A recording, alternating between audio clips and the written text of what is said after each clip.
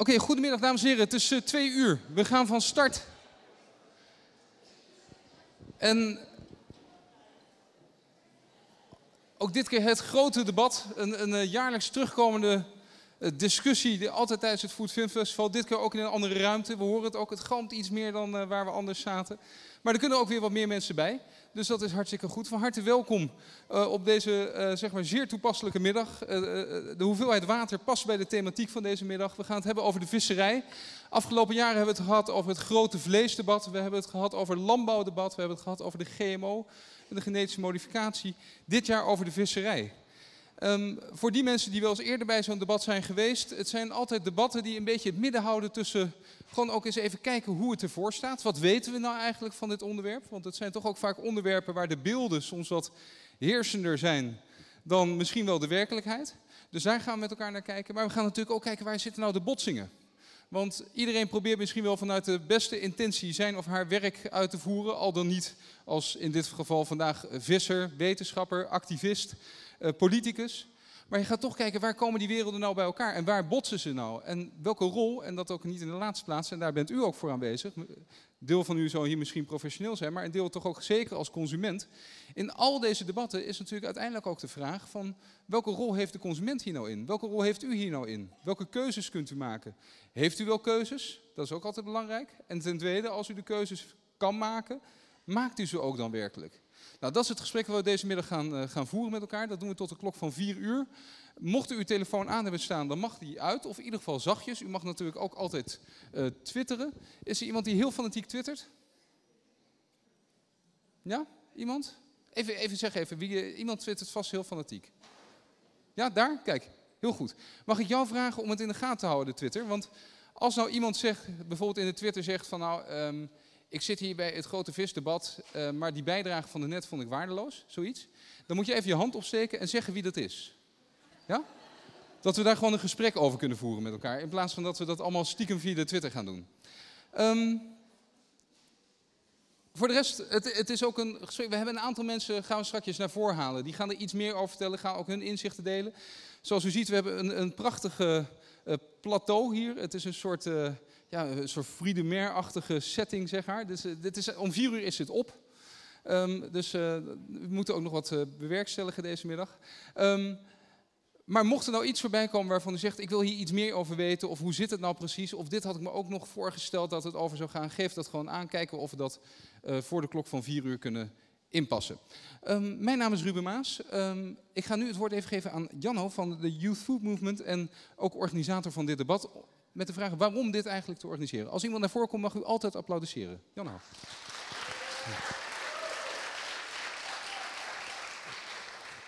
Ja, nou, ik geef al aan, we hebben het hele rijtje. Uh, grote vleesdebat, uh, landbouw, GMO.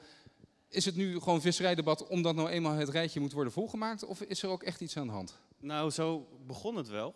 Maar um, hoe langer ik ermee bezig ging, hoe meer ik er ook achter kwam dat het eigenlijk een beetje het vergeten heel belangrijke onderdeel in ons voedsel is. Tenminste, ik werk nu al vier jaar. Uh, professioneel hou ik me bezig met, met eten. En dan richt, richt je je toch voornamelijk op landbouw, op veeteelt, op minder vlees eten en, meer linzen. En vis vind ik erg lekker. Maar um, ik moet zeggen, als ik op de Albert Kuip kom, waar ik vlakbij woon, dan, uh, dan weet ik niet precies wat ik moet doen. En ook met een viswijzer in mijn hand weet ik het nog steeds niet. En als ik aan die, aan die marktventen vraag, is deze vis duurzaam? Dan zijn ze allemaal duurzaam. Ja. Het, het resoneert niet. En dat komt ook omdat het, ja, die vissen die zwemmen onder water. Dus je hebt geen referentiekader. En uh, nou ja, als je je dan letterlijk in gaat verdiepen, wat wij uh, met de YFM uh, sinds november echt aan het doen zijn. Overigens erg leuke samenwerking met het jongerennetwerk Visserij en anderen. Um, dan, dan, ontdek je dat, er, dat dit echt een wereld is, een hele aparte wereld met ongelooflijk veel diversiteit. En ik denk dat dat het, ding is uh, wat, wat ik hier vandaag ook uh, nou, heb geprobeerd om uh, aan gasten in ieder geval bij elkaar te krijgen, is de totale diversiteit van de hele visserijsector en ook van vissen. U heeft elke, elke discussie, kent wel zeg maar zijn bekende uh, rode knoppen, zeg maar. Van kijk, daar, daar, daar botst het. Daar zijn, waar, waar, ben je tegen aangelopen bij, bij het onderzoek van, naar, naar de visserij? Wat, wat zijn daar nou eigenlijk de hete hangijzers? Nou ja, het, uh, je hebt zeg maar verschillende standaardverhalen. Eh, en eh, eentje daarvan is dat vis gezond is. Ja. Maar een andere daarvan is dat de zeeën bijna leeg zijn. En dat, is, dat voelt, als je dat leest, als je, dat komt met regelmaat terug in de krant, dat uh, een of andere groep gerenommeerde internationale wetenschappers, die zeggen van dit gaat echt niet goed, vis is op. en dan denk je, jemig, weet je, de aarde is voor twee derde water. Ja. En als we als mensen er zijn in, geslaagd zijn, ik bedoel, we komen uit de zee oorspronkelijk, weet je, als we erin geslaagd zijn om de, om de zee te doden, oh, nou ja, dat voelt heel, heel beroerd. En dat is denk ik een beeld wat bij heel veel uh, consumenten leeft. En dan ga je met vissers praten en dan krijg je een heel ander beeld. Echt heel anders. Er is nog gewoon genoeg. Uh, zat en uh, sterker nog, als je, als je veel heen en weer vaart en veel vis vangt, dan, dan wordt het meer. Dat is een raar verhaal, maar dat is echt zo, naar het schijnt dat is iets bijbels of zo? Dat... Nee, nee, nee. Als je, als je met die net over de bodem sleept met zo'n ding, dan, dan, als je het goed doet, naar het schijnt, dan uh, komt er meer voedingsstoffen en daardoor meer vis. Maar goed, daar zijn ook weer allemaal andere kanttekeningen aan. Dus op dat moment begin je je begeven in de discussie en daar zitten allemaal nuances en hoekjes en gaatjes. Nou ja, dat wil ik heel graag vandaag een beetje voor het voetlicht uh, krijgen, zodat uh, mensen wat meer gaan beseffen dat deze wereld bestaat en dat je daar op een bepaalde manier over na kan denken een van de thema's wordt dus in ieder geval die overbevissing. En een belangrijk punt wat je inderdaad ook aangeeft, eh, het is ook echt typisch zo'n debat, net zoals overigens die andere, dat, dat het lastig is om bij de feiten te komen. Want elk feit is bijna wel gepolitiseerd. Elk feit is wel een campagne al voor bedacht, voor of tegen, of zelfs een wetenschapper gevonden voor tegen. Ja, precies. Ja. Nou, we gaan proberen vandaag dan in ieder geval dat beeld te krijgen. Dus van al die verschillende standpunten naar voren te halen. Wat hoop je dat we in ieder geval in geslaagd zijn aan het eind van deze dag? Uh, voor mij heeft het debat twee doelen. En dat is dat jullie als consumenten uh, beter op de hoogte zijn van wat het Nederlandse aanbod aan vis is en wat je, wat je mogelijkheden en kansen zijn. Uh, maar daarnaast hoop ik heel erg dat de vissers en degenen die de vis eten gewoon wat meer met elkaar in contact komen. Want de YFM heeft de afgelopen jaren heel veel met jonge boeren samengewerkt. En dat was een nou, voor veel mensen een openbaring, maar dat resulteerde vrij snel in eh, allerlei kruisbestuivingen en effecten.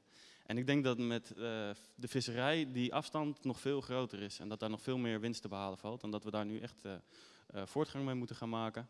Want er zijn gewoon heel veel verhalen te vertellen die je geruststellen of juist over de juiste dingen laten zorgen maken. En daarom is de YFM dus nu ook vooral met de academie bezig met, met een speciale werkgroep, BEET. En dat heb ik jou nog niet verteld, maar mag ik Wilbert heel eventjes vragen om daar wat uitleg over te geven? Want dat zijn die briefjes die uh, op, de, op de stoeltjes lagen. Ja, dat is goed, ja. Wilbert, kom erbij. Ja. Hoi. Um, ja, nou je houdt hem vast hè? Ja. Uh, dat dacht ik al. uh, ik zal kort even iets vertellen. Wij zijn dus een groepje van de YFM Academie. De YFM Academie is in verschillende gedeelten ingedeeld. Ja, dat klinkt heel complex, dat is het niet. Wij zijn gewoon een groepje van vijf mensen die voor WNF mogen nadenken over wat is nu duurzame visserij voor de consument. Um, en um, nou ja, enquêtes dat is altijd een beetje een dingetje waarvan je denkt dat vul ik niet in, want daar doen we niks mee. Of daar doen ze niks mee.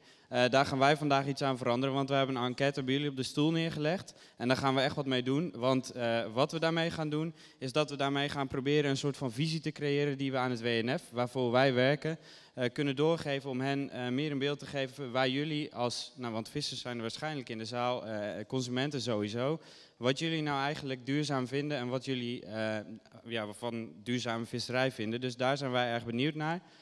Um, vul dat briefje in. Er liggen stiften her en der verspreid en er zijn vast ook mensen met pennen in de zaal en aan het eind nemen wij ze weer in. Duidelijk. Kregen we ook de uitslag te horen? Waarschijnlijk wel. Ja, volg uh, BeetYFM uh, A op Twitter dan wel, denk ik, toch? Oké, okay, heel goed. Nee, duidelijk. Janno, mogen we van start gaan? Of heb je nog een, een, laatste... Nee, we gaan beginnen. Heel goed, dankjewel. Um, er werd net al even gezegd, uh, vissers in de zaal. Wie is een visser? En dan bedoel ik niet hobby, maar gewoon professioneel. Even, even hand opsteken. Er zijn er meer. Als u naast iemand zit waarvan u het vermoeden heeft dat hij visser is, kunt u hem aanwijzen.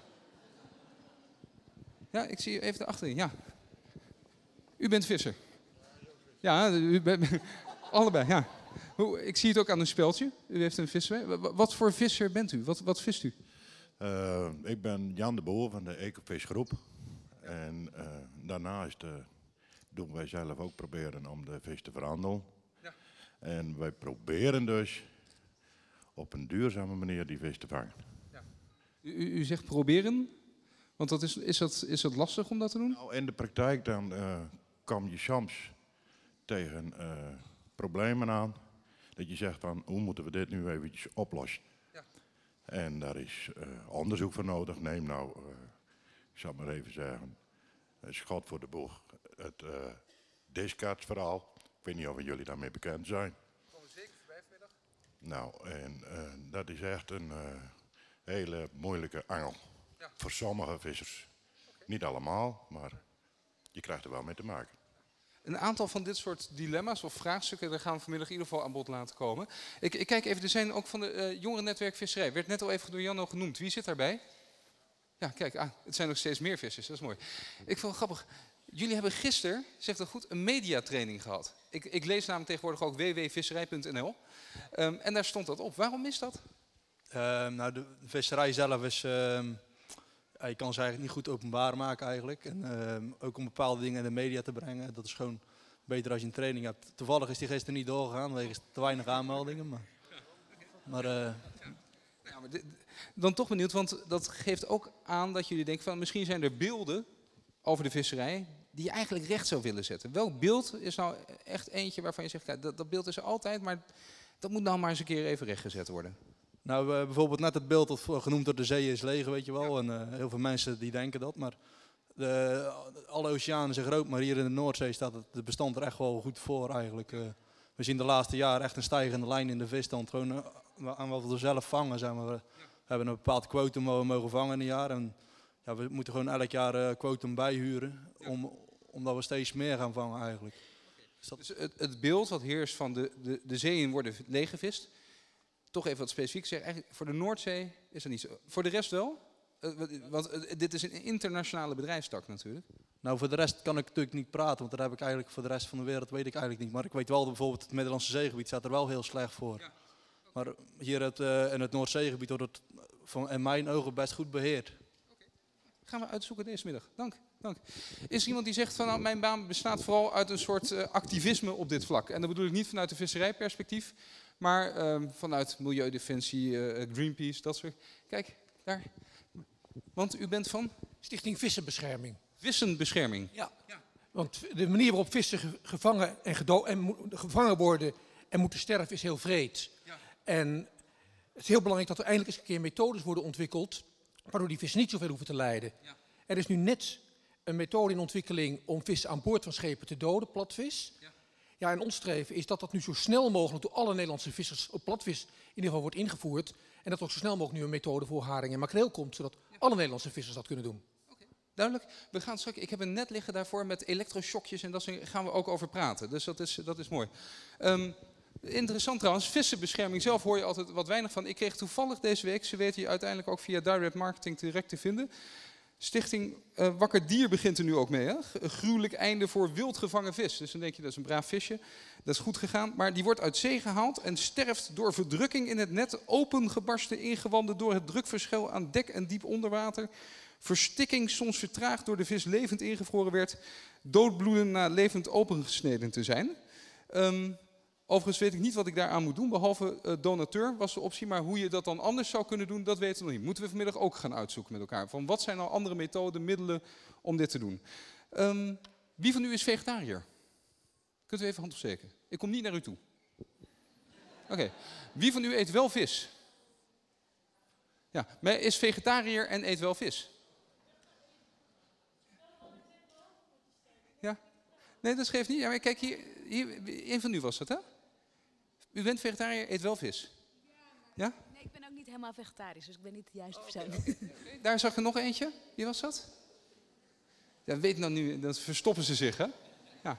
Maar het is een interessant punt, want veel mensen denken ook van ja, dit is iets anders. Ik bedoel, vlees eten, daar hebben we dat beeld wel duidelijk van. Maar bij vis, misschien inderdaad wat Jan zegt, het beweegt zich onder water, dus we weten het misschien ook niet. Nou, allemaal vraagstukken die we deze middag met elkaar moeten gaan aanpakken. Um, zoals elk jaar vragen we altijd één iemand een soort uh, facts en figures aan te geven. Gewoon wat zijn nou eigenlijk op dit moment de belangrijkste feiten, in dit geval rondom de visvangst. Daarvan weten we ook eigenlijk per definitie al dat vaak daar uitspraken bij zitten zeggen, ja maar dat is politiek gekleurd. Dat zou kunnen. We hebben hier een afspraak over. Degene die strak hier de inleiding geeft, dat zijn even de feiten voor nu. En daar kunnen we dan altijd later dan in de discussie pakken we ze nog even op. Maar we hebben gewoon eerst even een soort basiskennis daarvoor nodig. Dames en heren, mag ik een groot applaus voor Nathalie Steens, hoofdvisserij van Imaris.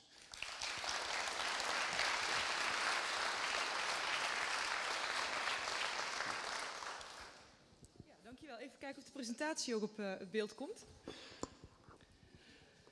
Uh, terwijl we wachten, zal ik me even voorstellen. IMARIS is het uh, Nederlandse uh, onderzoek, dat, onderzoeksinstituut dat onderzoek doet naar alles wat er in de zee leeft. En, wat, en ook naar de effecten van menselijk gebruik daarop. Dat kan zijn visserij, maar dat zijn ook bijvoorbeeld effecten van, van windmolenparken. Dus dat is even heel erg in het kort IMARIS.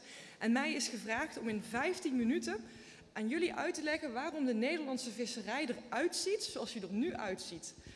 Nou, dat is een enorme uitdaging. Uh, dat kan gewoon niet. Als ik dat echt zou willen doen, dan ben ik tot vier uur bezig. En we willen vooral met elkaar praten vandaag. Dus ik uh, ga af en toe een beetje uh, kort op de bocht. in een poging om de hoofdpunten neer te zetten. Want ehm, waar ik eigenlijk weer wil beginnen is dat de Nederlandse visserij, nou, die bestaat helemaal niet. Er is niet zoiets als de Nederlandse visserij, want we hebben heel veel verschillende visserijen in Nederland. Misschien dat jullie uh, dit beeld uh, kennen van de havens als jullie een keer uh, langs een vissershaven komen, de Noordzeekotters. of de palingvisserij kennen de meeste mensen ook wel, veel in het nieuws geweest de laatste tijd. Als je, als je dan een fijnproever vraagt, die zegt misschien, oh ja, oesters, dat vissen we in de Oosterschelde. Maar wisten jullie ook dat de Nederlandse visserij ook wereldwijd actief is met een aantal hele grote uh, diepvriestrollers en daar ook een behoorlijk grote speler uh, uh, in Europa in, in, is? Of dat er in de Waddenzee nog op een middeleeuwse manier met de hand kokkels uit, uit de zeebodem worden geharkt. Dit is een hele kleine greep van, uh, van de visserijen in uh, Nederland. En van de mensen die uh, het Nederlands viskookboek van Bart van Olven, die hier ook is gelezen hebben, is dat eigenlijk geen nieuws. Nou, zonder dat ik die visserijen die, die we hebben tekort wil, wil doen, wil ik me nu even vooral richten op de zeevisserij. En in het bijzonder ook daar weer, weer op de Noordzeevisserij, omdat die lekker dicht bij huis is en omdat daar ook heel vaak het debat over gaat. Nou, hoe zit dat nou met die, uh, met die zeevisserij? Om het even in pers perspectief uh, te plaatsen. De Nederlandse visserij die vangt in totaal 0,4% van de wereldwijde visvangst. Kijk je naar de Europese visvangst, dan is het ongeveer 6,5%. Dus dat is zeg maar uh, het, het, het, wereldwijde speelveld van de vangsten waar we in zitten.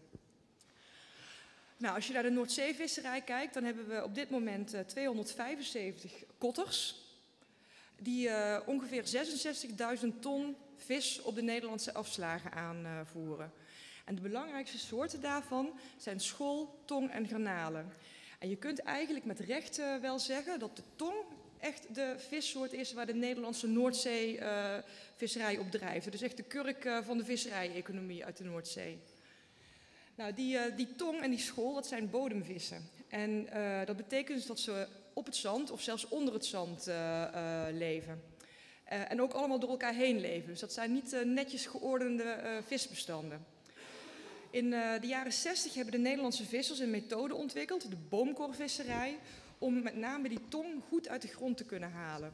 En dat is een vistuig dat over de bodem wordt gesleept, waar kettingen aan hangen. En die kettingen die schrikken eigenlijk de vissen op en dan wordt die gevangen.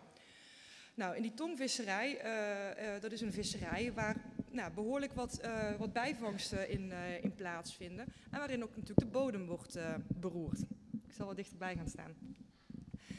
Um, maar heel veel mensen denken dat wij eigenlijk vooral nog met die boomkorf vissen. Maar eigenlijk is daar een, een verandering in gekomen. Want de laatste tijd zijn er ook nieuwe vistuigen in opmars.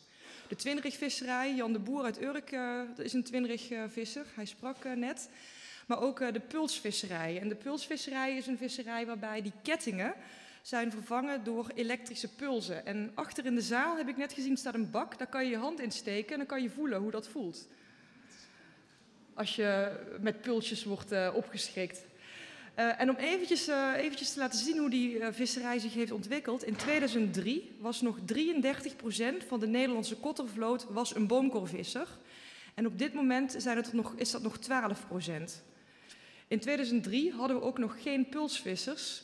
Dat zijn er nu uh, 13 procent. Dus daar is eh, behoorlijk wat, eh, wat veranderd in hoe die schepen eruit zien. De tong en de school en de granaten die worden gevangen, die gaan met name naar West-Europa en naar Italië. Dus dat is een beetje het speelveld voor die kottervisserij. Dan hebben we natuurlijk ook nog de, vries, eh, de vriestrollers, die ik, net, die ik net al zien. Dat is een heel ander type visserij. Die eh, vissen op hele grote volumes. Dat zijn hele grote scholen van vis die allemaal eh, ja, netjes geordend bij elkaar zitten. Dus de makrelen zwemmen bij de makrelen en de haringen die zwemmen bij de haringen. En dat zijn hele grote volumes die je daarmee eh, die je kan vangen. Nou, die visserij die vindt vooral in, eh, eh, in de Noordoost-Atlantische regio plaats, dus de Noordzee en ten noorden daarvan. Maar er worden op deze schepen ook in Mauritanië gevist, Afrika of in Chili. Ehm, en de belangrijkste soorten daar zijn haring, makreel, eh horsmakreel, blauwe wijting en eh, voor de kust van eh, Mauritanië ook sardinella. Dat is een visserij omdat ze in scholen bij elkaar zwemmen waarin de bijvangsten heel erg beperkt zijn. Dus het is een relatief schone visserij. Ehm, deze schepen die blijven lang op zee. Vier tot zes weken duurt een visreis gemiddeld.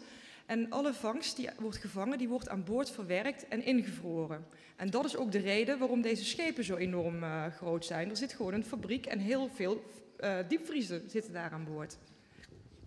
De markt voor deze visserij eh, is vooral in het buitenland. En Afrika is een ontzettend belangrijk land waar deze vis, eh, waar deze vis naartoe gaat. En op de Afrikaanse markten dan, verkopen dus de vrouwen weer die pakken ingevroren vis voor de lokale voedselvoorziening. Kijk je naar de handel, dan zie je dat de Nederlandse vissers ongeveer voor 345 miljoen, eh, miljoen euro vis aanvoeren. Er komt nog een keer bij dat wij ook vis importeren. Dat is veel meer, 2,2 miljard. Dat eten we natuurlijk niet allemaal zelf op, want wij exporteren vervolgens nog een keer 2,6 miljard euro aan vis.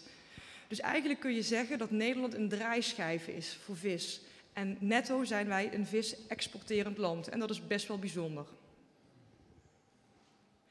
Nou, hoe wordt die eh, visserij nou beheerd? Hè? Hoe wordt dat nou gereguleerd? Hoe, wat mag je nou wel en niet eh, vangen? Nou, eh, ik ga nu het verhaal wat, wat korter eh, houden en eh, heb me moeten beperken. Dus ik ga het even voor het gemak eh, hebben over de periode voor het jaar 2000 en de periode na het jaar 2000. Ehm, voor 1980 was eigenlijk het visserijbeheer een nationale zaak. De nationale, de, de, de, de leden, de mensen die nu lid van de Europese Unie zijn, die deden dat allemaal zelf. En in 1983 werd eigenlijk het eerste Europese gemeenschappelijke visserijbeleid eh, gestart. Toen gingen we dus in Europa samen proberen om die visserijen te beheren. Nou, vooral in het begin van die periode kenmerkte zich eh, eh, dat door een enorme schaalvergroting. Er werd fors geïnvesteerd in nieuwbouw. Hè, er moest lekker veel geproduceerd worden. Een beetje wat in de jaren 70, zeg maar, hoe de zaken er toen voor stonden. Hetzelfde gebeurde ook in de landbouw. Nou, wat er gebeurde was natuurlijk, die vissers die kregen steeds grotere schepen, die steeds meer eh, kosten met zich meebrachten. En die moesten dus steeds harder gaan vissen om uit de kosten te, kopen, te komen. Dus eh, de, de, druk op die visbestanden die werd gewoon groter, want er, werd meer en, eh, er was meer vangstcapaciteit. Er werden toen wel al adviezen gegeven door de wetenschappers, onder andere door instituten als IMARIS. Maar heel vaak werden die over van hoeveel mag je nou eigenlijk vangen. Maar heel vaak werden die vangsten veel hoger eh, vastgesteld dan, ehm, ja, dan de wetenschappers adviseerden. Want de quota waren onderhandelbaar. En dat leidde er eigenlijk eh, eh, toe dat de bestanden in Europa behoorlijk eh, eh, begonnen af te nemen. En in een poging om dat tij eh, te keren, werden eigenlijk de regels vanuit de Europese Unie over die visserij, die werden echt steeds en steeds ingewikkelder. Eh, en zelfs zo ingewikkeld dat sommige van de visserijinspecteurs, dus de politieagenten van de, van de visserij, zeg maar, de eigen regels niet meer konden begrijpen. Dus eh, dat was eh, ja, een, een, een behoorlijk eh, nare periode. Nou, in het begin van, van deze eeuw gingen er wat dingen veranderen. Het Europese visserijbeleid dat werd hervormd. In plaats van dat er eh, eh, subsidies werden, eh, kwamen die heel erg gericht waren op nieuwe schepen bouwen, gingen de subsidies veel meer zich richten op verduurzaming. Dus investeringen in duurzame technieken bijvoorbeeld. De Europese vissersvloot werd enorm gesaneerd, dus de vloot werd steeds uh, kleiner. Um, en wat je ook zag, was dat de vissers en de natuurorganisaties steeds meer bij het beleid betrokken werden, waar ze vroeger eigenlijk een beetje buitenspel werden gezet. Um, wat ook heel belangrijk was, was dat er meerjarenplannen werden geïntroduceerd. Vroeger werd elk jaar, van jaar op jaar, vastgesteld hoeveel vissers mochten vangen. En dat was voor een tot op zekere hoogte ook uh, onderhandelbaar. Maar nu werden er eigenlijk uh, voor, uh, voor, de lange termijn spelregels vastgesteld over hoeveel je mag vangen. Dus dat is een heel ander, een, ja, een heel ander soort beleid. De quota zijn veel minder onderhandelbaar geworden in die meerjarenplannen. Maar wat nog steeds bleef, was die wirwar aan regels, want het Europese visserijbeleid werd eigenlijk alleen maar ingewikkelder. Voor de Nederlandse visserij was er eigenlijk een keerpunt in 2006. Nou, 2006 was uh, in die zin een bijzonder jaar voor de haringvissers, want uh, het ging toen zo goed met de haringvisbestanden dat de haringvissers als eerste visserij in Europa het MSC-keurmerk voor uh, duurzame visserij kregen. Dus dat was een ja, positief moment. Maar in die kottervisserij, daar stonden de zaken toch wel wat anders voor.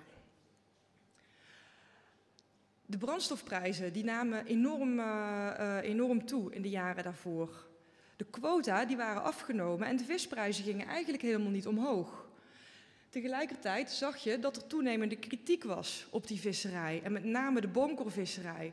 Over de bodembehoring, over de bijvangsten. En die kritiek die kwam vanuit Greenpeace, maar ook vanuit Stichting de Noordzee en andere partijen.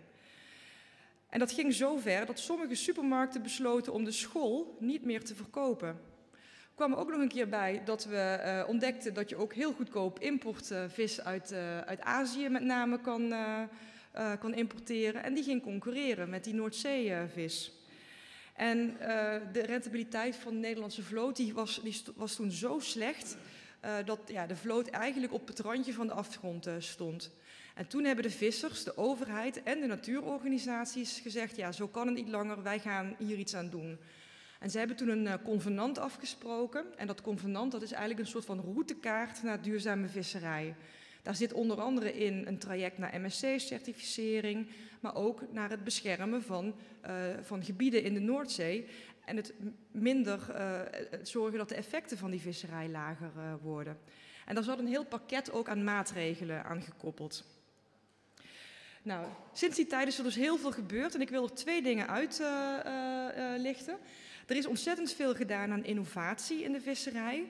Um, onder andere in die boomkorvisserij is een, uh, een vleugel, hij ligt hier uh, naast me ontwikkeld, dus een soort vliegtuigvleugel, waardoor dat uh, vistuig veel lichter werd en minder weerstand met zich meebracht. Nou, ook zijn, zijn er allerlei experimenten gestart om die kettingen uit die visserij weg te halen en te vervangen door die elektrische pulsen, de pulsvisserij. En dat heeft eigenlijk tot gevolg gehad dat de brandstof wat vissers gebruiken met 55% afgenomen is. Om het even uh, in, in, een beetje in perspectief te zetten. In 2003 had de gemiddelde Noordzeekotter 45.000 liter aan brandstof nodig om één week te vissen. Daar kan je echt ontzettend veel uh, keer mee rond de aarde rijden in je auto met zoveel brandstof. En dat is inmiddels dus met meer dan de helft verminderd. Dus dat is een enorme uh, ontwikkeling geweest. Wat je ook ziet is dat in, met name in die pulsvisserij uh, de bodemberoering een stuk minder is geworden. En de bijvangsten van bodemleven, van bodemdieren, die zijn zelfs met 70% afgenomen. Dus dat is een behoorlijke, uh, behoorlijke winst die, daar, die je daarmee zou kunnen boeken. En daarnaast is in eigenlijk al die platvisvisserij, uh, in alle verschillende soorten visserij, heel erg uh, gekeken naar hoe kun je nou met ontsnappingspanelen die vis die je niet wil hebben, zoveel mogelijk uh, laten ontsnappen. Dat is heel erg moeilijk in deze visserij. en helemaal tot nul bijvangst bijvangen, verminderen, dat lukt eigenlijk niet. Maar er zijn wel stappen genomen en er is wel hoop dat het beter kan dan het nu gaat. Het tweede punt uh, wat ik uh, wilde noemen is het lange termijnbeheer, waar ik het net over noemde. Want dat begint aardig te werken. En dat wilde ik even laten zien. Jullie zien hier een grafiekje. En als dit uh, de aandelenkoersen zouden zijn, dan zou iedereen zich rot schrikken. Maar als het over visserij gaat, dan is dit een, heel, ja, een behoorlijk positief plaatje. dit is namelijk de visserijdruk. Dit is eigenlijk hoe hard wordt er nou gevist. En als je het even vergelijkt met een eh, bankrekening, als jij geld hebt, op de bank hebt staan, daar krijg je rente over, en je doet daar niks mee, dan gaat dat eh, kapitaal op je bankrekening groeien. Maar haal je er meer van af dan wat die rente je oplevert, dan gaat je kapitaal slinken. En hetzelfde geldt met de, met de visserij. We hebben heel lang te veel rente ervan afgehaald, zodat de visbestanden gingen slinken. En nu is het beheer erop gericht om eigenlijk ietsje minder eraf te halen dan de rente die dat visbestand uh, uh, opbrengt. Dus die visserijdruk, hoe lager die wordt, hoe beter dat is. Want hoe harder je visbestand gaat groeien en hoe meer je ook kan vangen met minder inspanning. En om het even te visualiseren, ik heb hier een plaatje van een aantal schoolvissers op de Noordzee. Die visten in de jaren 2000 en in 2005 moesten die om uh, 200 kilo school te vangen, maatse school, daar deden ze, daar deden ze twee uur uh, over. In 2010 visten zij, vingen zij in diezelfde twee uur, dus met hetzelfde schip, 400 uh, uh, kilo school. En dat is inmiddels nog, uh, nog veel hoger geworden. En dit laat eigenlijk zien, die vangst per eenheid inspanning, zoals we dat noemen, dat is eigenlijk een maat voor de gezondheid van het visbestand. De school in de Noordzee is op dit moment hartstikke gezond. Uh, er zit net zoveel school nu in zee als in de jaren 50. En ook voor de andere bestanden die ik net noemde, de tong, maar ook voor de pelagische visserij, de haring en de makreel, daar gaat het eigenlijk heel goed mee. Dus zijn we er nu? Nou, volgens mij is dat, uh, zijn dat ook de onderdelen van het debat van uh, vandaag. Ik wil er even een paar dingen uitlichten. Er zijn nog wel wat uitdagingen. Het plaatje hier, dat laat de Nederlandse Noordzee zien. De scheepvaartroutes, de gasplatformen, de olieplatformen, de pijpleidingen die er liggen, de windparken die er gaan komen en de natuurgebieden die zijn aangewezen. De visserij die staat op dit soort plaatjes nooit ingetekend. Dus ik heb even een plaatje meegenomen van hoe die visserij in dit gebied eruit ziet. En daar waar het rood is, wordt heel veel gevist. Ja, dan kan je dus zien dat het gewoon steeds drukker wordt op die Noordzee en dat het ook steeds lastiger zal zijn om die visserij in te gaan passen in een Noordzee die steeds voller wordt. Dus dat is een hele belangrijke uitdaging. Andere gaat over uh, die bodemberoering waar ik het net over uh, noem waar ik net over had. Die platvisvisserij, daar moet je hoe dan ook de bodem uh, beroeren. Dat kan niet anders. En bodemberoering heeft natuurlijk een effect op de zeebodem. In sommige gebieden is dat effect heel groot, maar in andere gebieden is dat effect helemaal niet te, meetbaar, niet, niet te meten, is er geen effect. En toch gaat het in die discussie over die bodemberoering en over waar die visserij nog vangen, gaat het eigenlijk per definitie over dat die bodemvisserij dat dat een slechte visserij is. En die beeldvorming over dat dat altijd slecht is, dat maakt die discussie over van waar mag je nou wel of niet vissen en hoe gaan we met die natuurgebieden om heel erg ingewikkeld. Laatste punt. Ik noemde net al het, vis, het visserijbeleid. We hebben inmiddels weer een nieuw Europees visserijbeleid. Dat is uh, net van start uh, gegaan. En dat is nog ingewikkelder geworden. In 1983, de eerste jaar dat het kwam, waren er nog 3500 woorden nodig om de basisregels op te schrijven. Inmiddels zijn het 21.000 woorden geworden om de basisregels op te schrijven. En een hele belangrijke verandering hier uh, is uh, de aanlandplicht. We noemden net al het woordje discards werd genoemd. Discards is vis die je overboord gooit omdat je hem niet aan mag landen of omdat je, het geen waarde heeft voor je. En uh, de komende jaren zal geleidelijk aan worden ingevoerd dat je alle vis die je vangt, dat je die uh, aan land moet gaan brengen. Dat gaat de Nederlandse visserij tussen de 6 en 28 miljoen euro kosten. En het gaat nu net weer een beetje beter met die rentabiliteit. Dus de vraag is, wat gaat dit voor de Nederlandse vloot betekenen? Daarbij komt het ook dat we eigenlijk helemaal niet weten wat de effecten zijn van die aanlandplicht. Want wat betekent het dat je die vis allemaal mee moet nemen voor het ecosysteem in de Noordzee? Dat weten we niet. Hoe gaan we dit handhaven op zee? Hoe ga je dit controleren? Dus dat is een heel ingewikkeld vraagstuk. Dus er liggen een heleboel, aan, een heleboel uitdagingen. En uh, hoe ziet die toekomst er dan uit? Ik wilde toch even met een positieve noot uh, eindigen. Want die Nederlandse vissers, dat zijn echte rasondernemers. En uh, de vraag naar voedsel wereldwijd, die groeit natuurlijk. En daar liggen ook de kansen voor de Nederlandse visserij. mits je die visserij op een goede manier beheert. En dat beginnen we nu langzaam een beetje onder de knieën te krijgen. Nou, voor die grote pelagische visserij heb je het met name over een bijdrage in de voedselzekerheidsvraagstuk, vooral in ontwikkelingslanden.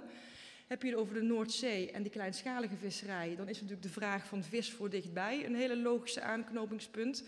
En als je het hebt over uh, slow food, waar volgens mij heel veel uh, voorstanders van zijn, dan is natuurlijk de link met die hele kleinschalige kustvisserij uh, heel erg duidelijk aanwezig. Nou, duurzaam is de norm. En als we naar de afgelopen jaren kijken, dan zijn er heel veel ontwikkelingen geweest in die visserij die daaraan bijdragen. Dus ik denk zeker dat er muziek zit voor die Nederlandse visserij voor de toekomst. Dankjewel voor jullie aandacht. Nathalie Steins, blijf even staan. Dank, dank voor dit, voor dit uh, overzicht. En je raakt inderdaad een aantal dingen waar we het zeker over moeten hebben. Eén daarvan is in ieder geval wat je, je merkt, en dat was natuurlijk net ook de opmerking vanuit de vissers ook. Zeg je, die, die Noordzee, dat gaat eigenlijk nu best goed. En dat wordt ook, als je kijkt naar bijvoorbeeld interviews met de eurocommissaris hierover gaat, zeg ja, die Noordzee, die spreken ze nog wel steeds over zo'n 50 tot 60 procent overbevissing. Nou, laat ze. Maar je hebt natuurlijk, dit is een internationale business. Er zijn natuurlijk ook vissers, en dan heb je het zeker over die grote uh, vriesschepen, zeg maar, die dus de wereld echt bevaren. Die tot aan Australië varen, die Middellandse Zee, overal varen. Hoe staat het daarmee? En hoe staat het met de overbevissing als je verder kijkt? Mm -hmm. Nou, wereldwijd, uh, dat zijn de inschattingen van de Wereldvoedselorganisatie, wordt 30% van de visbestanden overbevist. En, 70, uh, en 50% wordt eigenlijk uh, maximaal bevist, dus zo hard als maar ja. verantwoord is. In Europa zie je dat, uh, net, net, werd de Middellandse Zee uh, genoemd, dat is een, uh, een, plek waar we nog veel zorgen hebben. In de Noordzee gaat het met de meeste visbestanden juist steeds veel beter. Je noemde net die, die trollers, die vissen inderdaad, die vissen ook in Europa, die vissen ook in het buitenland. Maar het beeld wat ik even wilde wegnemen is dat die grote visserij per definitie altijd slecht is. Nee, daar gaan we straks apart dus, nog over spreken. Dus dat, is, dat is wel belangrijk. Ook als je die grootschalige visserij, als je goed die visbestanden in kaart brengt en goed een idee hebt van hoeveel kun je daar nou van afhalen, kun je dat uh, op een hele duurzame manier doen. En de zorgen die we uh, vooral uh, hebben, zitten toch ja, in veel tropische landen. De tropische garnalenvisserij is bijvoorbeeld zo'n soort tonijn, is een andere soort die natuurlijk enorm uh, onder druk staat. Ja, en in, in een heleboel landen uh, heb je natuurlijk ook uh, ja, weinig, verder weinig beheer. Ja. En wat je daarnaast, daarnaast ook ziet, um, de high seas, dus de, de zeeën die van niemand zijn. Daar, wordt natuurlijk ook, daar liggen ja. heel veel kansen en daar kunnen we ook steeds meer met de nieuwe technieken. Dus daar moet je wel echt voor zorgen dat je vanaf het begin een vinger aan de pols uh, Ja, want die vinger aan de pols, je noemde al even de controle. Ja. Um, het is natuurlijk gewoon lastig als je kijkt uh, in wat voor gebied zo'n schip vaart. En ze kunnen bij wijze van spreken nog op de radar de controle al aanzien komen. Ja. Um, want waar we het hier niet over hebben, is het illegale gedeelte. Mm -hmm. Als iedereen zich keurig overaan ja. zou houden, en natuurlijk alle vissers hier zitten doen dat. Um, maar al die anderen, daar, is, daar is natuurlijk ook veel discussie over. Over van uh, bijvoorbeeld die bijvangst. Daarvoor wordt gezegd, ja, dat is high grading, heet dat volgens mij. Hè? Dus dat je op een gegeven moment zegt van nou, ik heb eigenlijk dit visje nodig. Mm -hmm. Ik krijg nu deze vis binnen, op zich heel goed eetbaar. Maar ik gooi hem toch maar overboord, want ik heb namelijk alleen die andere nodig. En dat mag eigenlijk niet. Er zijn afspraken over. Ja, in Europa is dat verboden inderdaad. Ja, ja. gebeurt wel. Dat zal ongetwijfeld gebeuren, ja. Er wordt gezegd, is, dat, de, weer ja. diezelfde eurocommissaris zegt 20% mm -hmm. ja. is illegaal. Ja, ja er is, uh, het, het, probleem van illegale visserij, dus ook heb ik niet over genoemd, maar dat is een van de grote problemen natuurlijk die er ja. uh, wereldwijd uh, spelen. En het is natuurlijk verschrikkelijk ingewikkeld om te zien wat er, um, wat er gebeurt op zee. En... Um, ja, de vraag is van hoe ga je daarmee om? Uh, wat, wat, we zien is dat er uh, uh, steeds vaker gewerkt wordt met waarnemers aan boord. Dus dat er ja. dus, zeg maar onafhankelijke waarnemers meegaan om te kijken wat er gebe gebeurt. Camera's, dat zijn dingen die we, die we steeds meer aan het, aan het inzetten zijn. Om te kijken van, ja, kan je daarmee die controles uitvoeren? Maar daar ligt nog een gigantische uitdaging. Want zo nou even, even, om het nog even precies te krijgen tot slot. Zou het kunnen zijn, want je, je in principe zegt van nou, het, het gaat helemaal niet de verkeerde kant op. Het gaat eigenlijk best, best goed, zeg maar. Zeker ook als je naar de Noordzee kijkt en, en verder. Er zijn heel veel ontwikkelingen, innovaties. Maar dat is misschien, als je naar de formele cijfers mm -hmm. kijkt. Zou het kunnen zijn dat een deel van de onrust die af en toe ontstaat, komt door die illegaliteit? En dat je zegt, ja, die is misschien wel dusdanig in omvang dat ja, dat, dat daar de pijn echt ontstaat. Dat daar de zorg ontstaat over de kwaliteit van de vis, de, de, de impact op het ecosysteem. Omdat er echt wel sprake is van een behoorlijke illegaliteit in deze sector. Ja, dat, dat vind ik eh, moeilijk om te zeggen, want de Nederlandse visserij heeft in de jaren 80, ik kon er niet op ingaan, Ja. eh, is er inderdaad heel veel illegaal gevist. Hè? eh, Ja. op, op school met platvis met name. En eigenlijk sinds halverwege de jaren 90 is het Nederlandse visserijbeleid, omdat we meer verantwoordelijkheid hebben gegeven juist aan die vissers, eigenlijk gewoon best wel goed voor elkaar. En dat wil niet zeggen dat iedere visser het even goed doet, maar in Nederland eh, wordt over het algemeen als een land gezien in Europa dat zich heel goed houdt aan, eh, aan de regelgeving. En er zal vast nog wel eens wat gebeuren, want iedereen rijdt ook wel eens een keer harder dan 120 op de snelweg. Eh, maar het is, ik wil niet hier het beeld schetsen dat de Nederlandse visserij een soort van ja, crimineel gebeuren, gebeuren is. Absoluut niet. Vind ik ook belangrijk om te benadrukken. Ik heb het ook niet specifiek over Nederlandse visserij. Maar omdat het een internationale bedrijfstak is, waar overigens ook Nederlandse schepen onder allerlei andere vlaggen varen, hè, dus dat maakt het Mhm. ook lastig zelfs, moeten we daar wel straks even over hebben. Maar daar Ja, gaan we, komen me we zeker over te spreken. Ja. Nathalie Steens, heel veel dank. Ja, dank je. Dankjewel.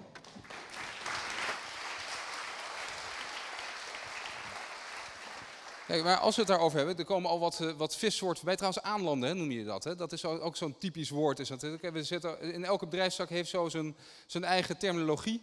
Aanlanden wil gewoon eigenlijk zeggen gewoon het aan land brengen van je vis. Dus eh, je, doet een vis aanlanden en de bijvangst aanlanden betekent dat je de bijvangst niet overboord gooit. Maar moet meenemen aan, naar wal en dus laten zien wat je hebt als bijvangst hebt gehad. Betekent overigens ook dat je dus capaciteit aan boord moet houden voor de bijvangst. En dat is jammer. Volgens eh, in ieder geval eh, natuurlijk de visser die zijn geld ermee moet verdienen. We gaan eens kijken naar deze tafel, wat je normaal gesproken gewoon keurig bijvoorbeeld op de markt ziet liggen. Ehm, want hier, we moeten het natuurlijk wel even over de vis hebben. Want anders praten we alleen maar over de vis. Maar ik wil zeggen, bijna met de vis eh, gaan we ongeveer doen. Maar ehm, Nico Waansdorp, vishandelaar uit IJmuiden.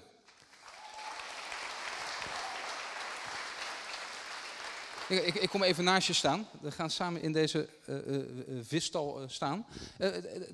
Klopte de inleiding volgens jou van Nathalie? Het, het was keurig verwoord, zeker weten. Ja hoor. Zo, zo voelen wij dat, dat als je deze keur aan, aan vissoorten ziet, dan zie je dat er nog voldoende vis uit de Noordzee komt.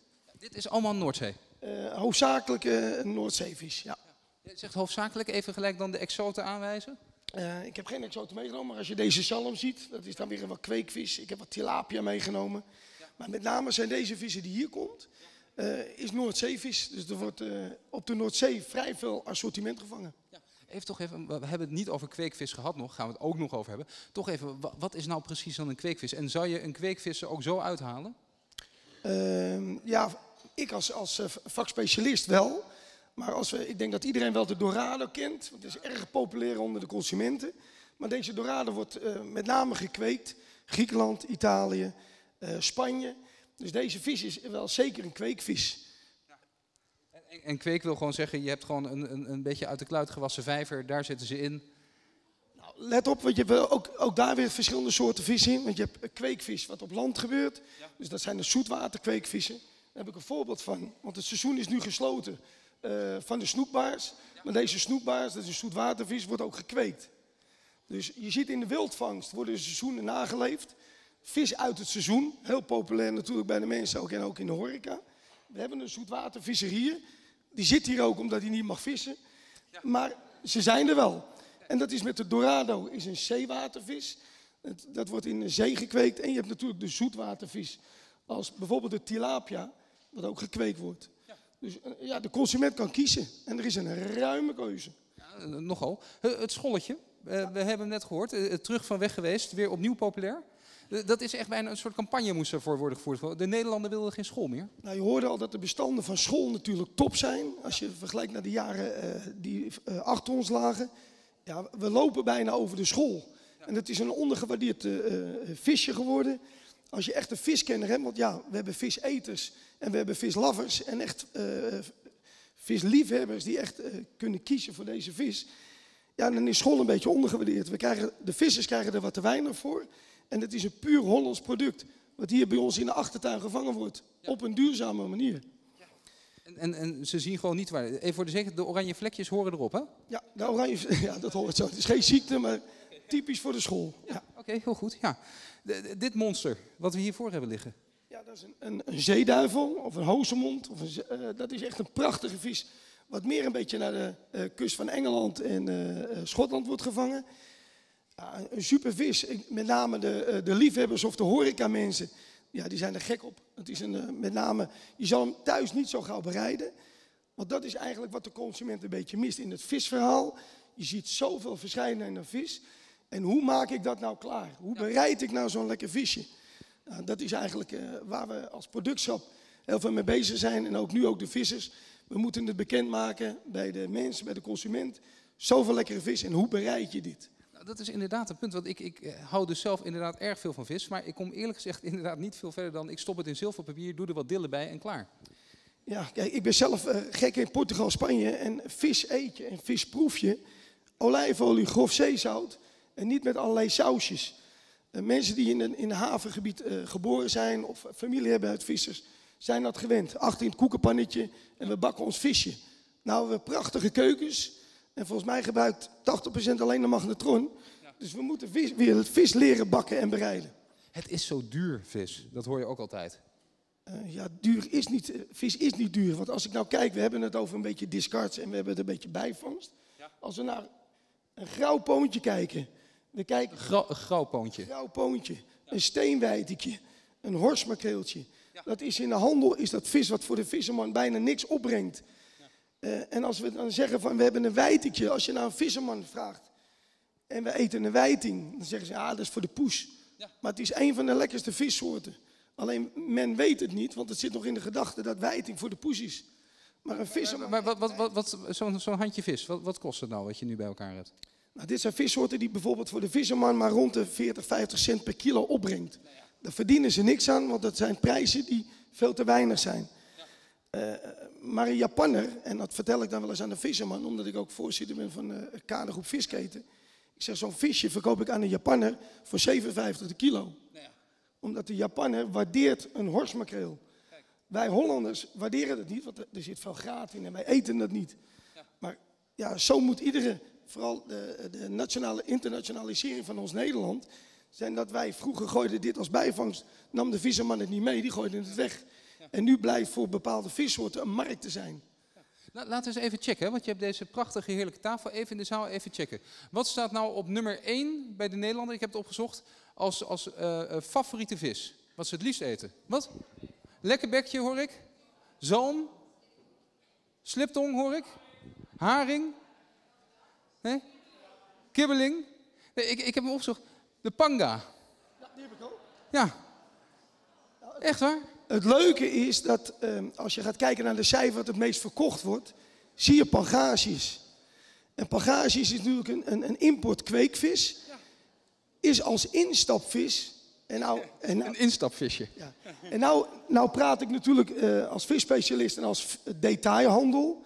Is dit een veel verkochte vis? Zowel in de retail, dat wil zeggen in de supermarktkanaal, is dit een visje wat niet naar vis smaakt. Dus veel mensen die houden niet zo specifiek van die vissmaak en kiezen dan voor een vis wat niet uit elkaar valt, wat makkelijk te bakken is, dus voor het gemak. En dan kom je Stop. vaak aan een pan. Nummer 2. Wat denkt u? Wat staat er op 2? Hij wordt nog leuker. Ja? Ja? Wat? Hè? Kabeljauw? Wat? Tilapia? Nee, ja? nee bliktonijn. Ja, als je, als je bij de meeste restaurants komt en je krijgt een salade ni- nicoise, dan zie je vaak die tonijn in een salade verwerkt. Of in een broodje. Maar ja, eh, ik zelf eet het niet. Maar je ziet het in met name eh, Aziatische landen en je ziet de Middellandse Zee heel veel tonijn gebruikt worden in gerechten. Nummer 3, laatste. Precies, nummer 3, de visstik. Inderdaad. Dat zijn de drie voorkeuren van de Nederlander. En dit hebben we gewoon in de achtertuin. En ja, ze moeten weer leren vis eten. Maar wat ik me wel wil zeggen, we hoorden net kibbeling ook. En kibbeling en lekkerbek, dat zijn natuurlijk vissoorten, die zwemmen niet in de zee. Want dat is ook zo leuk voor zo'n consument. En de kibbeling, jongens, je kan kibbeling maken van al deze vis. En je kan een lekkerbekje maken van al deze vis. Als je in Engeland een and chips eet, dan eet je een schelvis omdat dat lokaal daar ontzettend veel gevangen wordt. Dus die hebben fish and chips, hebben ze een schelvis. Onze voorkeur gaat naar kabeljauw. Maar kabeljauw, dat hebben we al gehoord, die bestanden zijn wat onder druk in de Noordzee. Dus je gaat naar alternatieven zoeken. Maar je kan een panga, je kan bij een visboer komen en dan kan je bij iemand een lekkerbekje krijgen. Kan je panga krijgen. Maar je kan bij een schelvis voor lekkerbek, een kabeljauw. Of wanneer het seizoen is en je hebt een lekkere dikke wijting, kan een wijting dus ook een lekkerbekje zijn. Nico Waansdorp, dank. Heel veel dank je Ja.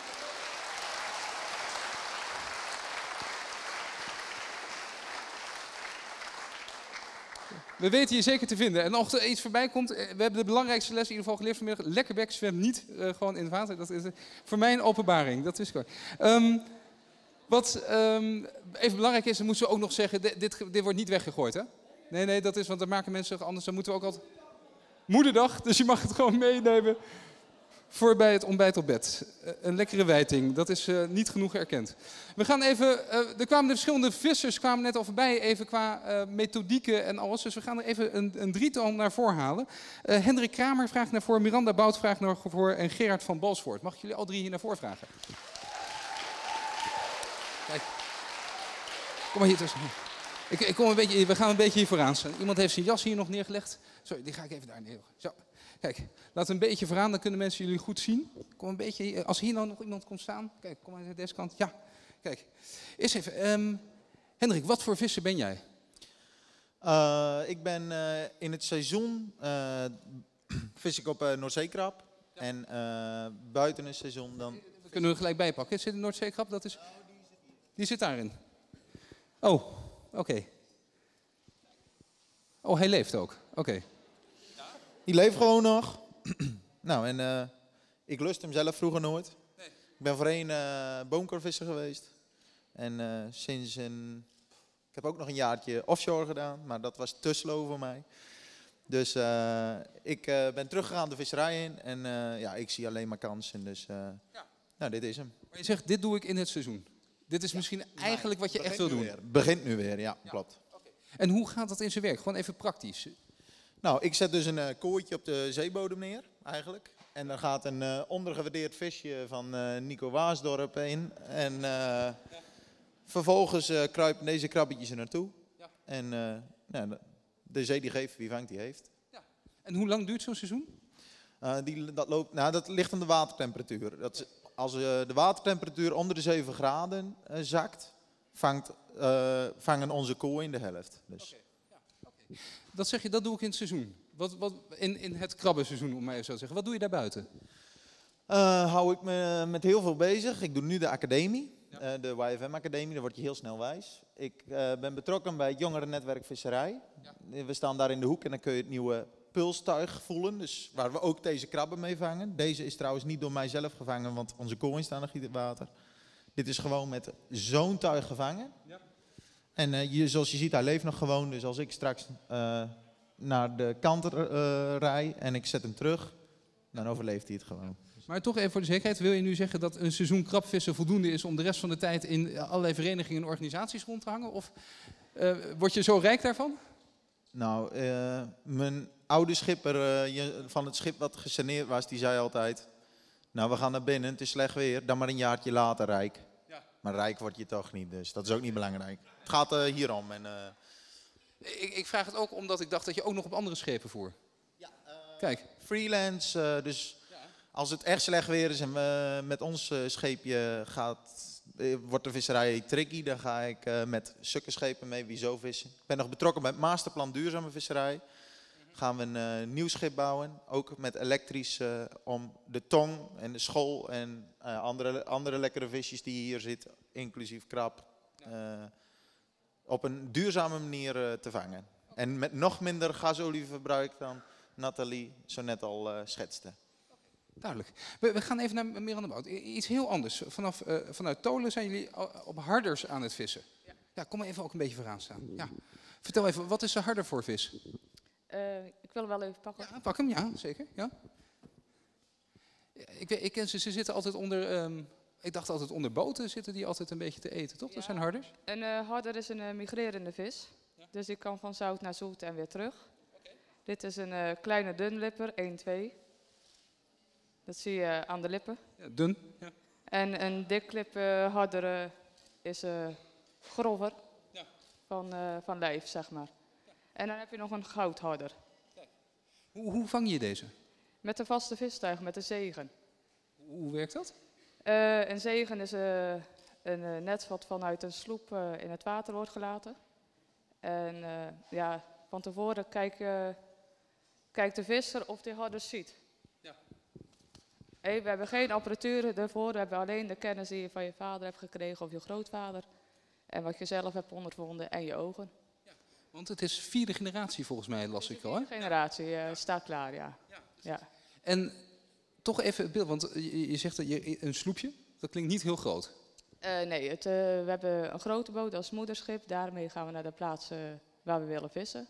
Oosterschelde, Oosterschelde, Westerschelde en Voordelta. En met de sloep doen we de daadwerkelijke visserij. en, dit klinkt misschien heel naïef, maar daar kan je van leven. Nee, daar kunnen we niet van leven. Nee, nee. Eh, harde visserij is een seizoensvisserij van eh, mei tot oktober, dus dan heb je nog een half jaar. En daarna deden we altijd de ankerkuilvisserij of sprot. Nou, helaas is dat eh teloor gegaan. Eh, dat, ja, dat komt omdat ja, de sprot geïmporteerd wordt. Dus de sprot zwemt in de Oosterschelde, Westerschelde, maar hij komt toch uit de Oostbloklanden. En wat doe je dan nu? Eh, ja, proberen de harder te promoten, zodat er meer vraag naar de harder komt en de prijs stijgt. En dat gaan we aardig. En de rest eh, doen we onderzoek voor Imaris en voor eh, Inbo in eh, België. En ik werk zelf nog, dus Hoe- Hoeveel zijn er nog zoals jullie zeg maar, aan het werk? eh, ik denk een stuk of zeven in de Zuid en dan Barbara in het noorden. Ja. Barbara, en de, Bar- Barbara dekt het noorden, zeg maar. Dat is heel mooi. Ja, precies. Ehm, stuk of tien in het noorden, dat is Barbara, of niet? ja, dat is Barbara. Dat is inderdaad Barbara, kijk, heel goed. Ehm, dan toch, want dit is bijna het meest romantische beeld wat mensen nog misschien wel hebben van vissers. Gewoon van generatie op generatie in een bootje, weten eigenlijk, ook misschien ondertussen in het DNA, waar de vis zit. Nou ja, ik zou zeggen, je moet, kijk, als je echt gewoon even tijd van bezinning wil hebben en echt even frank en vrij wil zijn, dan moet je harders gaan vissen. Ik, ik moet eerlijk zeggen, ik heb nog nooit de harder in de winkel zelf gezien. Nee, dat, eh, ja, dat komt eigenlijk omdat wij natuurlijk, mijn, ja, twintig jaar geleden gingen wij gewoon met de vis naar de visafslag en daar werd het verkocht.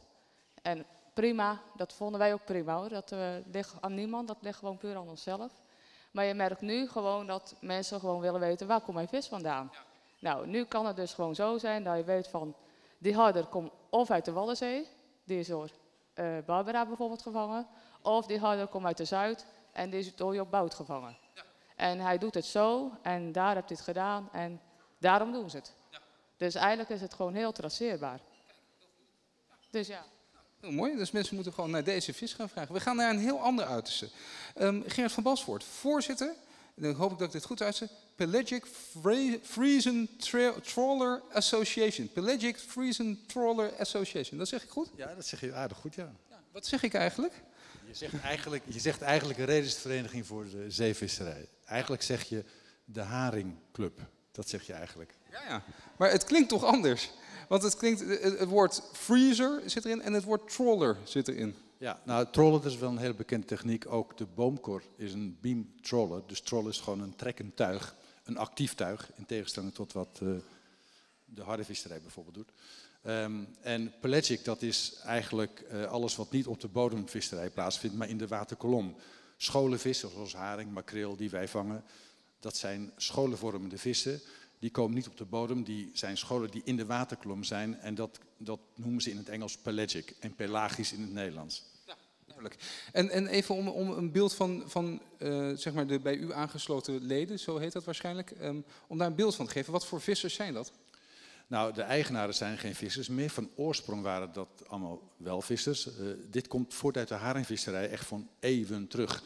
Eh, in de loop van de jaren hadden we tientallen haringvissers met zeiloggers in Vlaardingen enzovoort. Er zijn er eigenlijk nog maar drie bedrijven van over. Die zijn wel groot geworden uiteraard.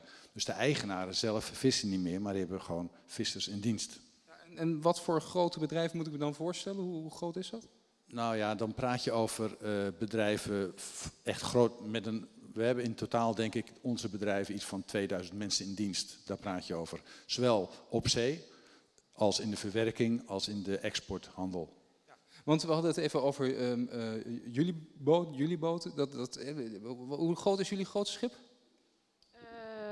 Bijna 20 meter. Bijna 20 meter. Bij jullie? Eh, waar we mee op krabben vissen, die is 18 meter. En eh, van Masterplan Duurzame Visserij, wat er eh, nu, die wordt 30 meter. Ik vind het allemaal al indrukwekkend. Hoe groot zijn de schepen waar u het over heeft? 144 meter is de grootste en 56 meter is de kleinste. Laten we beginnen bij de 144 meter. Wat, ehm, wat voor schip is dat? Dat is een vriestroller. Dat is het Nederlandse woord. Er is geen een vriestreiler. Oud-Schevenings is treiler, vriestroller. Dat zijn schepen die vissen op dit soort, wat ik al zei, haring en makreel. Overigens doen onze collega's dat ook in Schotland en in Noorwegen. Alleen die vangen met dezelfde netten ook deze scholen vis. Maar die vriezen dat niet zelf in. Dus die moeten na twee dagen als een speer naar de kant om het te verkopen voor de menselijke consumptie aan een fabriek die het dan ter plekke aan land invriest. Wij hebben ooit, tientallen jaren geleden, besloten dat wij het zelf gaan invriezen aan boord van onze schepen. Dus we hebben een, zeg maar, een fabriek moeten bouwen in die schepen, plus een opslag. Het achterdek waar de visserij plaatsvindt, dat is hetzelfde als van onze Noorse en Ierse collega's. Alleen, wij zijn wat langer op zee, omdat we natuurlijk meteen naar de vangst invriezen. Toch, eh, toch een vorm even van, eh, van eh, Nederlands chauvinisme. De schepen, de, de grote schepen, zijn Nederlandse schepen, toch? Ik geloof de vijf grootste ter wereld, dat zijn Nederlandse schepen van Parlevinker, is dat volgens mij? Parlevink, nee, Parlevink is een beroep, Parleviet is een naam. Nee, maar het is, ja, maar het is een naam. Ja, nee. Ja, zo heet die, dat is een familie, maar er zijn ook Vrolijk en Van der Zwan. Zijn bekende zeg maar, visserijnamen uit. Zij hebben de grootste volgens mij. Ja, er zijn ook wel in Rusland mensen met hele grote schepen. Hoor. Maar goed, als je zegt het allergrootste schip is een Nederlands schip, inderdaad. Ja. Ja. Dat, dat, dat zei ik ook. Ja. Nee, daar was, nee, daar was ik even benieuwd naar. Ehm, toch even, juist bij die grote daarvan, en dat was natuurlijk opvallend bij wat, wat Nathalie ook zei, zei van ja, dat is wel grappig, want mensen denken snel, die grote schepen, fabrieksschepen, daar is, daar, daar, daar is het meeste gedonder mee, om maar even zo te zeggen. En eigenlijk zei je, dat, dat valt mee qua bijvangst, toch? Of heb ik dat verkeerd begrepen?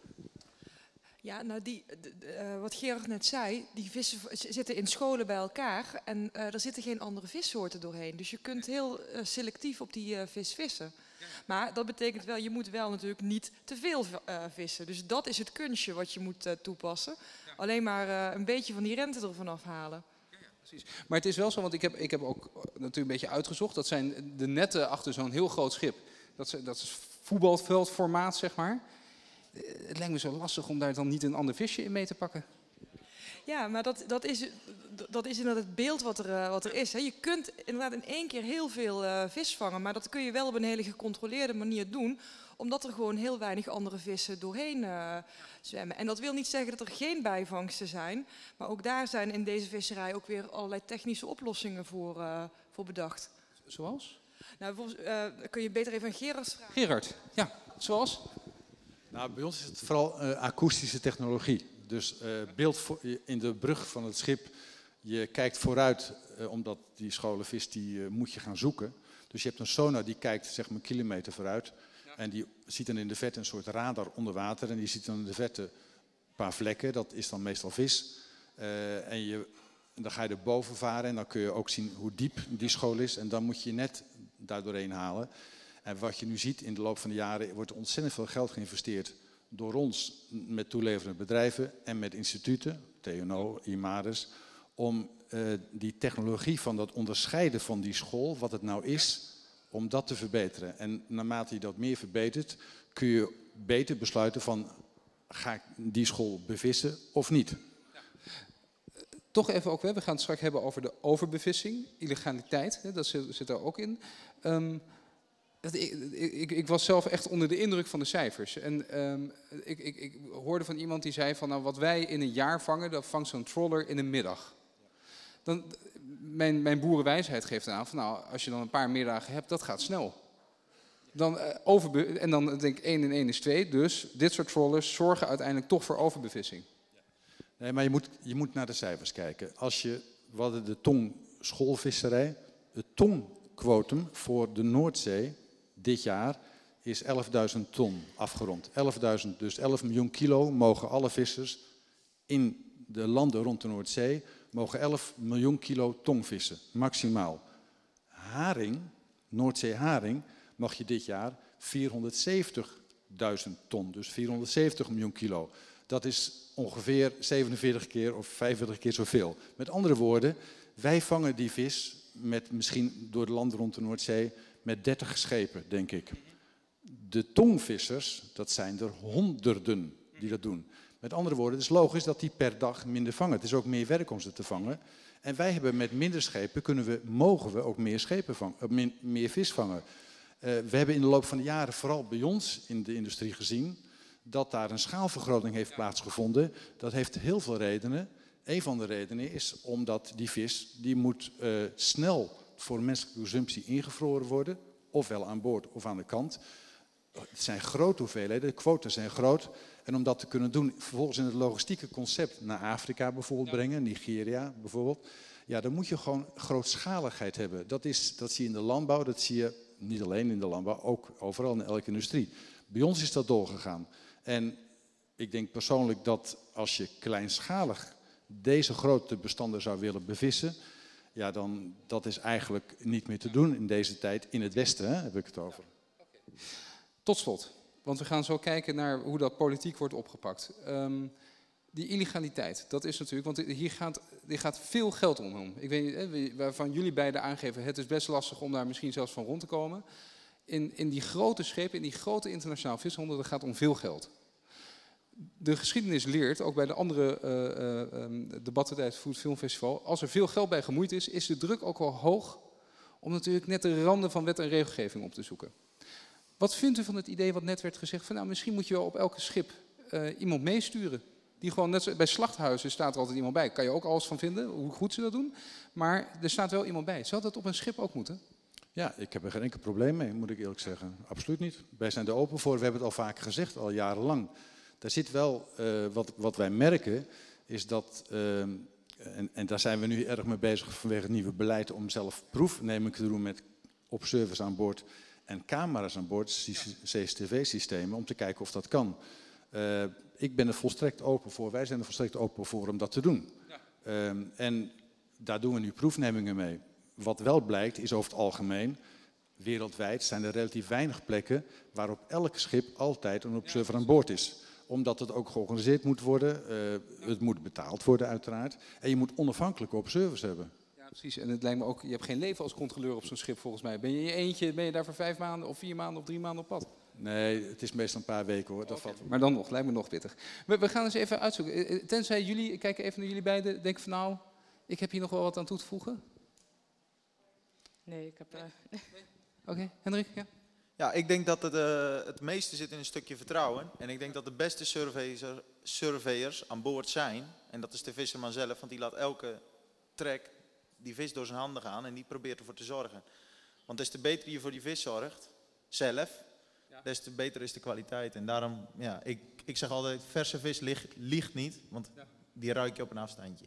Maar daarom toch ook mijn vraag net even over de economische belangen. Als de belangen heel groot worden, en waarvan u ook zelf zegt, dat de families zitten zelf bij wijze van spreken niet meer op het schip, maar achter de computer, hoort ook, dan, dan kan, dit, kan dit verwateren, deze eerlijkheid die jij schetst. Ja, dat klopt. En daarom uh, ja, pleit ik toch voor uh, familiebedrijven. En ik ben inmiddels zesde generatie. Dus uh, ik wil het graag blijven doen. En nou ja, ik vind het jammer dat, een, dat we eerder voor een Black Tiger of voor een Panga kiezen in plaats van een school of een krab. Wie van, wie, waar je helemaal niet zo ver voor hoeft te varen hoor. Ja. Als Rusland de gaskraan dichtdraait of whatever, dan ga, stap ik in een bootje en dan vaar ik naar een kooi toe. Want de vis zit er genoeg in de Noordzee. Laatste opmerking. Ja. Nou ja, over die controle is toch wel een belangrijk punt. Uh, wij, onze markt zit niet hier, die zit wereldwijd in Afrika, in Azië.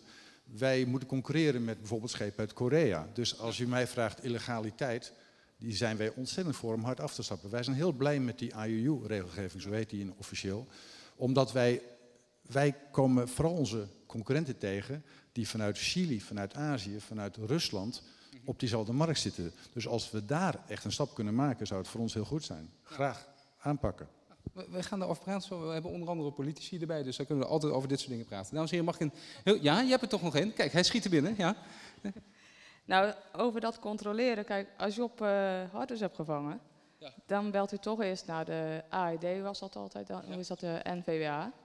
Nou, Job Bouw, tolen 16 of tolen 17. We willen graag harders vangen, mag dat? Nou, ja, één moment.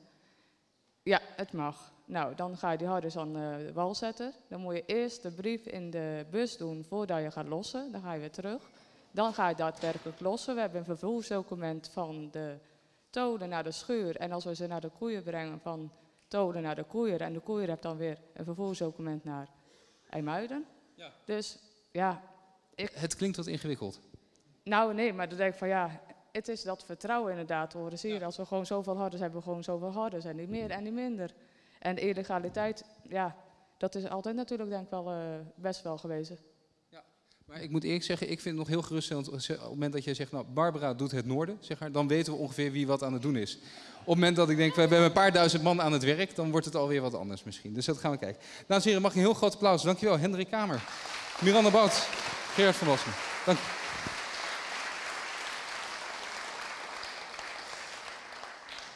We moeten maar eens even gaan kijken naar, naar wat, wat voor, eh, hoe ga je hier nou ook als politiek om? Hoe ga je als belangenorganisaties met dit soort eh, onderwerpen om? Ehm, ik vraag even Christine Absel van Stichting De Noordzee, is al eerder even genoemd. De Stichting Bas Eickhout, Europarlementariër GroenLinks en Hans Nieuwenhuis, MSC. Even al drie naar voren. Mag ik je al drie naar voren vragen? Dankjewel.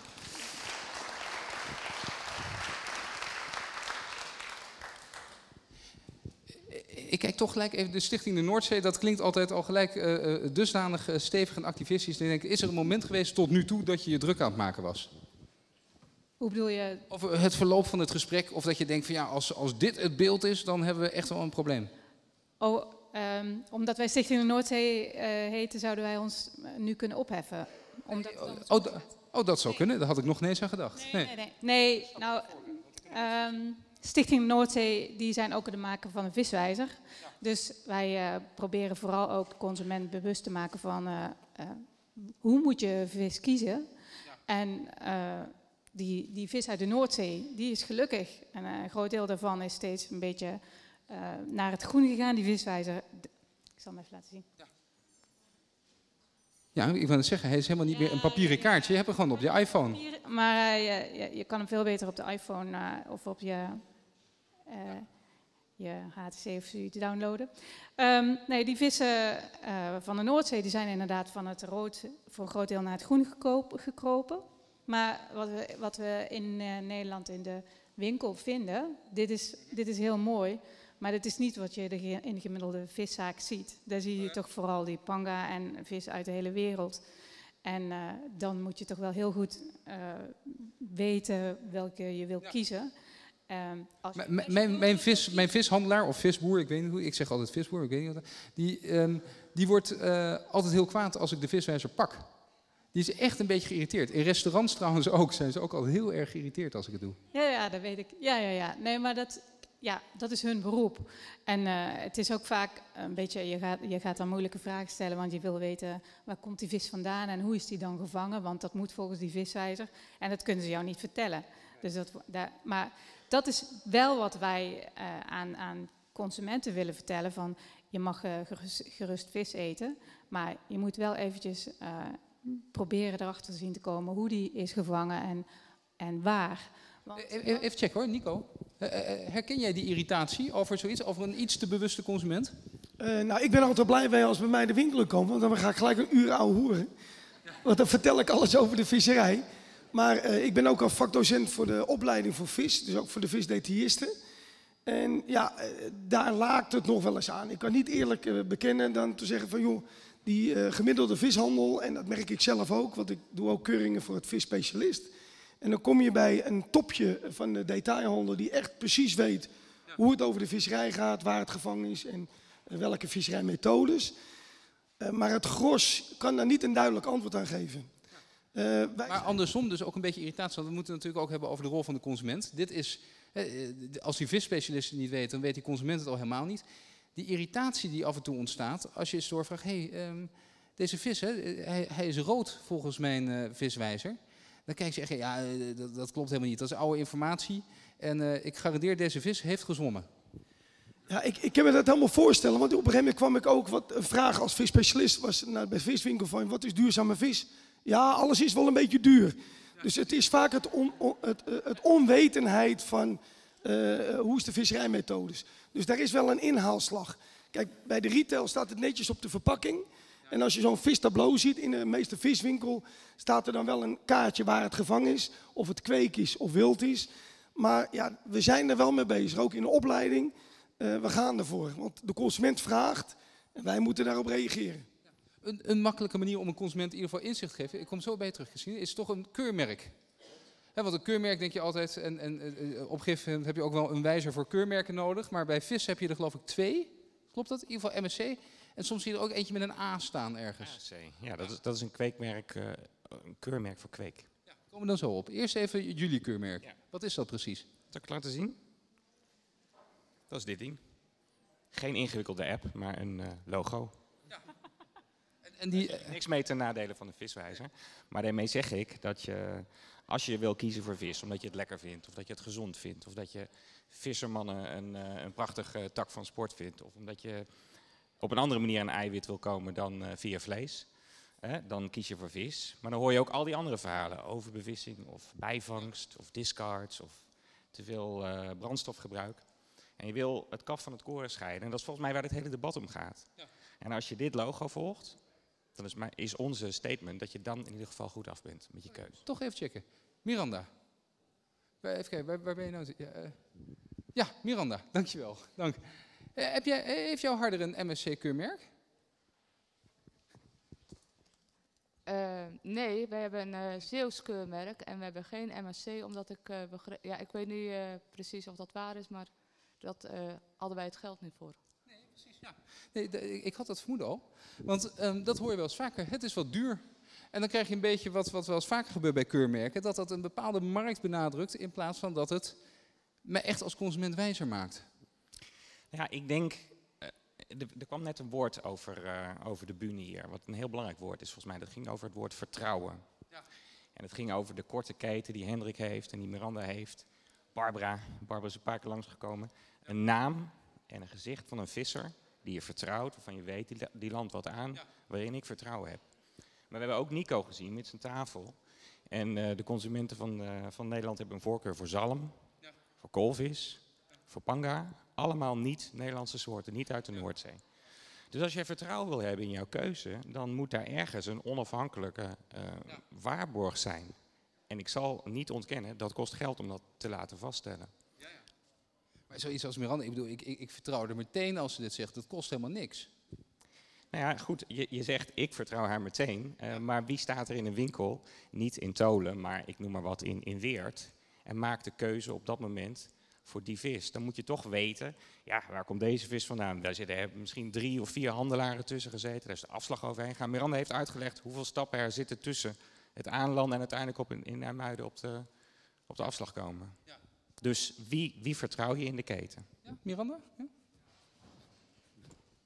Nou, het is natuurlijk in de praktijk kan het wel zo zijn van eh, als ik eh, als vissersvrouw uitleg van hoe mijn man die vis gevangen heeft en daar een flyer van heb en waar zijn gezicht op staat, wat hij zelf wel niet zo leuk vindt, maar daar gaat het over. En ik zet erbij van, eh, nou dat is het gebied waar we, die dikliphouder is in de Oosterschelde gevangen met de vaste vistuigen, de zegen. En Job Bout heeft hem gevangen en ja, dan is die traceerbaar. Dat kan wel. Als ik, als ik onze informatie doorgeef, waar we nu natuurlijk twee jaar geleden mee begonnen zijn, om te zeggen van nou, dit zijn wij, dat doen wij en zo doen wij het, dan kan jij bijvoorbeeld weten als jij harder koopt bij een, eh, bij een eh, visboer, van oh, dat is eh, vis van Job. Bart van Olven? Ja, die zit ernaast. Ik, ik vond dat, dat je ook rustig hield hierbij. Want hebt, eh, je- sommige mensen ken je dan misschien nog van visjes. Eh, Dat was eigenlijk, de, ik vond het de eerste echte hippe vishandel. Ehm, maar je zit nu van de fishtails. Vertel even. Ja, dus eigenlijk- Fishtails is een verlengstuk op, eh, op visjes. Ik ben even twee jaar eh, uit geweest. Nee, maar wat ik, wat ik mooi vind aan dit verhaal, eigenlijk met de MSC hebben we er wel eens over gehad, er moet eigenlijk een fonds komen voor die hele kleine visserijen die het niet kunnen betalen. Want dit is echt het voorbeeld hoe het zou moeten zijn. Ehm, maar MSC vind ik vooral voornamelijk belangrijk waar het zo moeilijk is om te achterhalen wie de visser is. Om het compleet transparant te maken. En dat we weten, als we dat stukje vis eh, bij Nico kopen of op de supermarkt, dat we eigenlijk uiteindelijk kunnen weten wie die heeft gevangen, waar die gevangen is en hoe die gevangen is. Maar ook een, tussen die consument en de visser een emotionele verbindenis te maken. Hè? Ehm, waardoor je ook het respect krijgt voor die vissen, waardoor je eh, loyaler wordt en waardoor je echt op zoek gaat naar dat stukje vis. En dan met een, met een keurmerk inderdaad. Want die consument of die handel kan eigenlijk alles wel zelf eh, bepalen, behalve onder water. En dat vind ik heel belangrijk. Dat moet absoluut een derde partij zijn die dat certificeert. Jullie doen dat met fishtails. Hè? Dan vertel je dat hele verhaal. Eigenlijk, eh, wij spreken de verhalen die we vanmiddag hier op het podium horen, die, die hoor je dan bij jullie, zeg maar, als je de vis in de, in, de, in, de, in de markt ziet liggen. Maar toch die persoonlijke link, kijk, dat zie ik heel erg natuurlijk voor me als we hier, zoals we hier eh, bij elkaar zitten. Er zijn allemaal mensen die geïnteresseerd zijn in het onderwerp. Maar eh, ik, noem net, op nummer drie staat de visstick. Ja, ik bedoel, dat is al zo'n mix van, dat, die familiegeschiedenis van die vis, visstick, zeg maar, die past niet eh, op één A4'tje. Ik bedoel, dat is van alles door elkaar. Dat heeft, dat is, dat, met bergen wordt dat binnengehaald. Daar is toch nooit een persoonlijke band te leggen? Nee, nou, dat visstick gaat het voornamelijk over Alaska koolvis. Dat is inderdaad een gigantische visserij. Dat geldt toch voor heel die grote vloot waar we het net over hadden. Dat is toch dusdanig massaal. Dat is gewoon. Dat, dat, dat hoeft dus niet. Nou ja, wat ik, waar, waar ik het nog even, het gesprek hiervoor, wat die gigantische visserij op de Noordzee, dat, dat is allemaal te beheren. Maar volgens mij is meer dan de helft van de wilde visvangst komt uit ontwikkelingslanden. En die mensen daar, die hebben, kunnen geen vis meer vangen, omdat 200 mijl verder eh, zo'n gigantische fabriek voorbij vaart. Maar Bas, noteer jij die even? Ja, Bas Eickhout, Europarlementariër. Even dus die, die, die ontwikkelingslanden die dus dwars gezeten worden hiervoor. Kom ik zo bij jou. Dus het gaat ook niet om, die vis die zwemt ergens, daar hebben we niet zoveel. Maar het gaat om die visserijgemeenschappen die ervoor zorgen dat die visbestanden intact blijven. Dus het gaat voornamelijk ook om, de- om, die, om die gemeenschappen te supporten. Ehm, en kijk, met een koolvis, dat, dat zijn gigantische dingen. Dat, dat, dat- en zo zijn er nog wel een paar. Maar er zijn heel veel vissen. Ik kom net terug uit de Malediven, tonijnenvissen. En die vissers die vangen met een hengel, met een bamboehaak, eh, eh, met tien bootjes in een weekend ongeveer eh, 100 ton vis. Dan heb je het over nou, iets van 500.000 blikjes tonijn. Dus het kan wel en er kan ook een verhaal aan zitten. Alleen we zijn er al die afgelopen tientallen jaren bij gebaat geweest om die vishandel zo niet transparant mogelijk te maken. En nu moeten we weer terug. Wie is er dan bij gebaat geweest? De handel. Waarom? Nou, op het moment dat het niet transparant is, dan kan je er heel veel mee doen. Ehm, en dan kan je eh, ervoor zorgen inderdaad dat je eh, inderdaad die kabeljauw uit de Noordzee misschien verkoopt als een kabeljauw uit Noorwegen die iets meer oplevert. Maar goed, er zijn heel veel voorbeelden, maar ja, Gerard, even checken. Klopt dat zo? Hebben jullie een tijd lang een voordeel bij gehad dat het zo niet transparant mogelijk was? Nee, absoluut niet. Nee, nee. Ik, zou, ik, ik snap ook niet het verhaal over, eh, over eh, eh, onze vis. die, we hebben vaste visgebieden, wij kunnen niet zomaar gaan vissen. We hebben gewoon quota. Op basis van die quota vissen wij onze makreel ten westen van Ierland.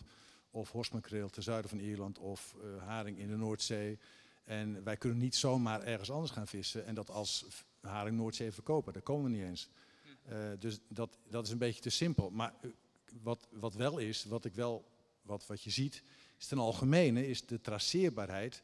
Die is over de afgelopen jaren omhoog gegaan. MSC, een van, de, een van de harde dingen van MSC, is dat vis traceerbaar is en controleerbaar traceerbaar is. En dat is een groot voordeel.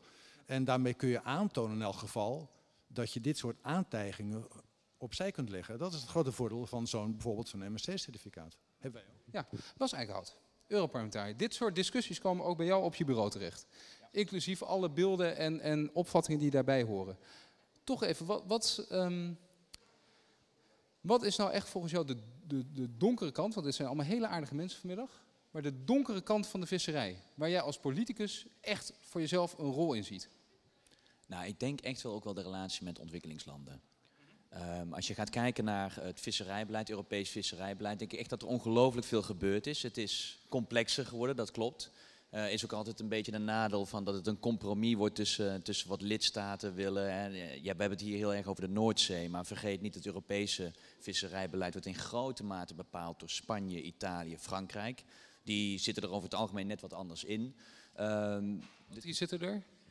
Nou, kijk naar, ook naar de stand op dit moment in de Middellandse Zee. Daar hebben we echt nog een hele grote probleem met visstanden. Dus in, 80% overbevissing hoorde ik daar. ja, dus, maar dan moet je dus eigenlijk, eh, wat we ook hebben gehad, die visquota, die zijn nog heel lang, waren die heel erg politiek be- bepaald. Daar is nu wel steeds meer een wetenschappelijke rol in. Er wordt ook steeds meer gekeken naar dat die quota worden eh, vastgesteld op dat eigenlijk de visstanden zich kunnen herstellen.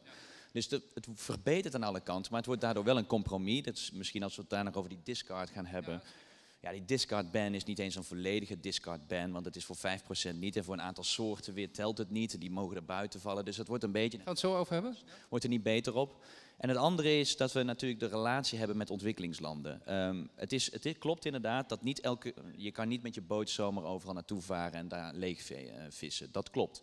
Maar je hebt eigenlijk steeds vaker bilaterale contracten tussen de EU en dan Mauritanië bijvoorbeeld. Of Marokko, waar dan ook weer de westelijke Sahara aan zit gekoppeld. Wat ook nog eens eigenlijk een geopolitiek mijnenveld is.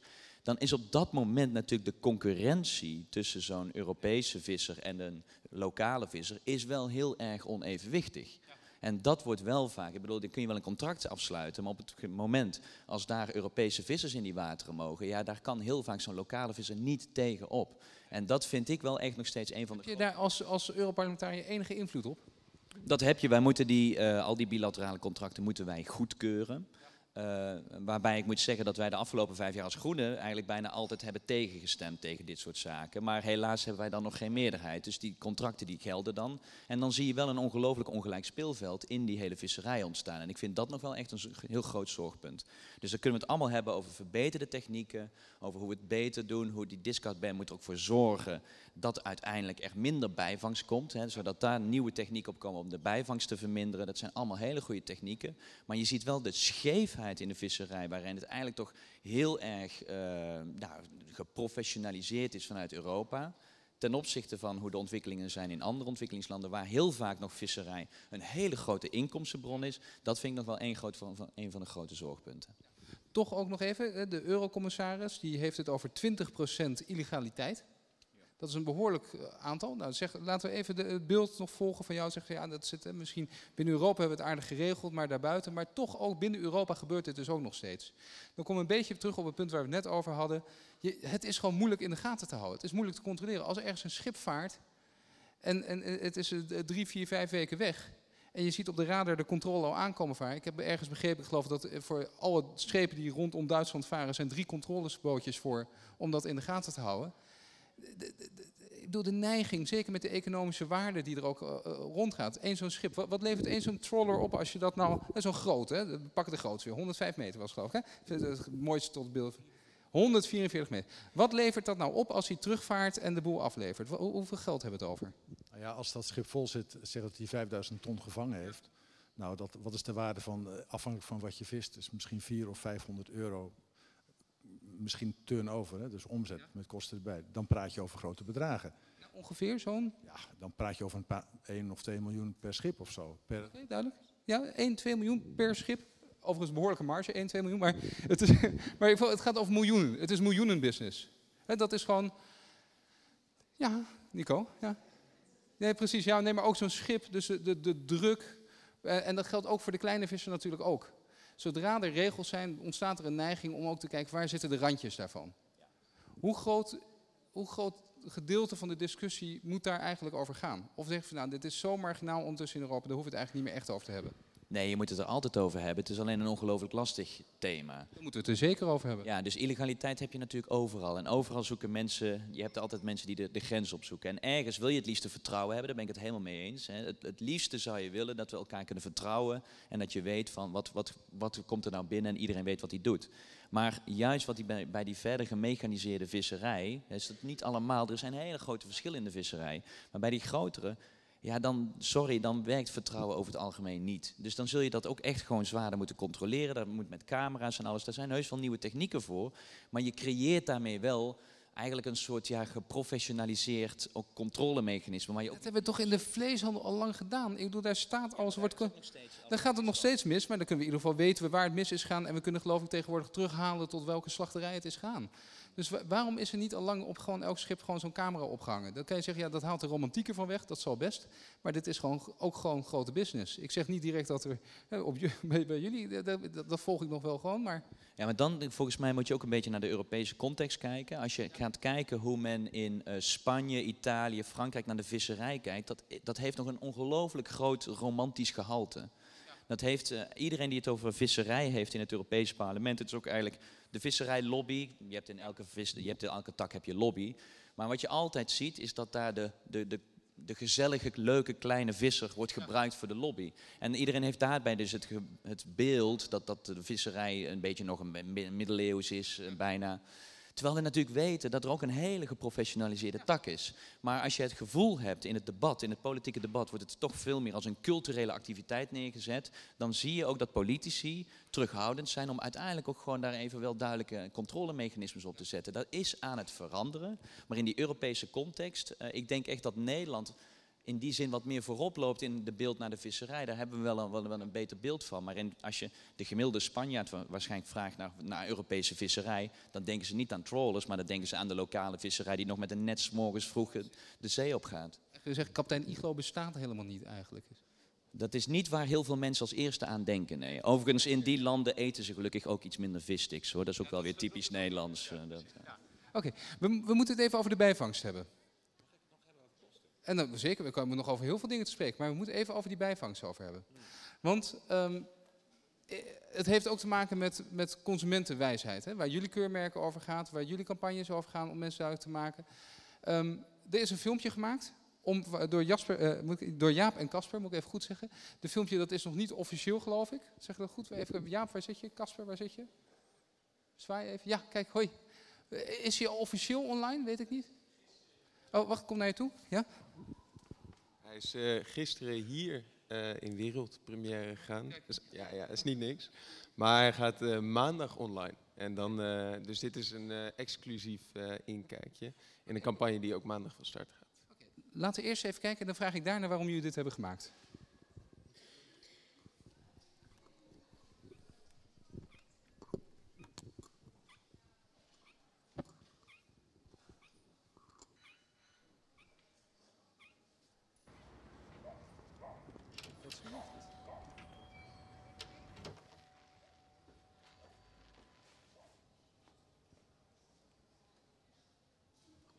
En? Uh, en ik wil graag de uh, nasi goreng uh, met garnalen. Sambal bij? Ja, lekker. Koebok? ja, is goed. Bijvangst bij? Bijvangst bij? ja, dat is goed.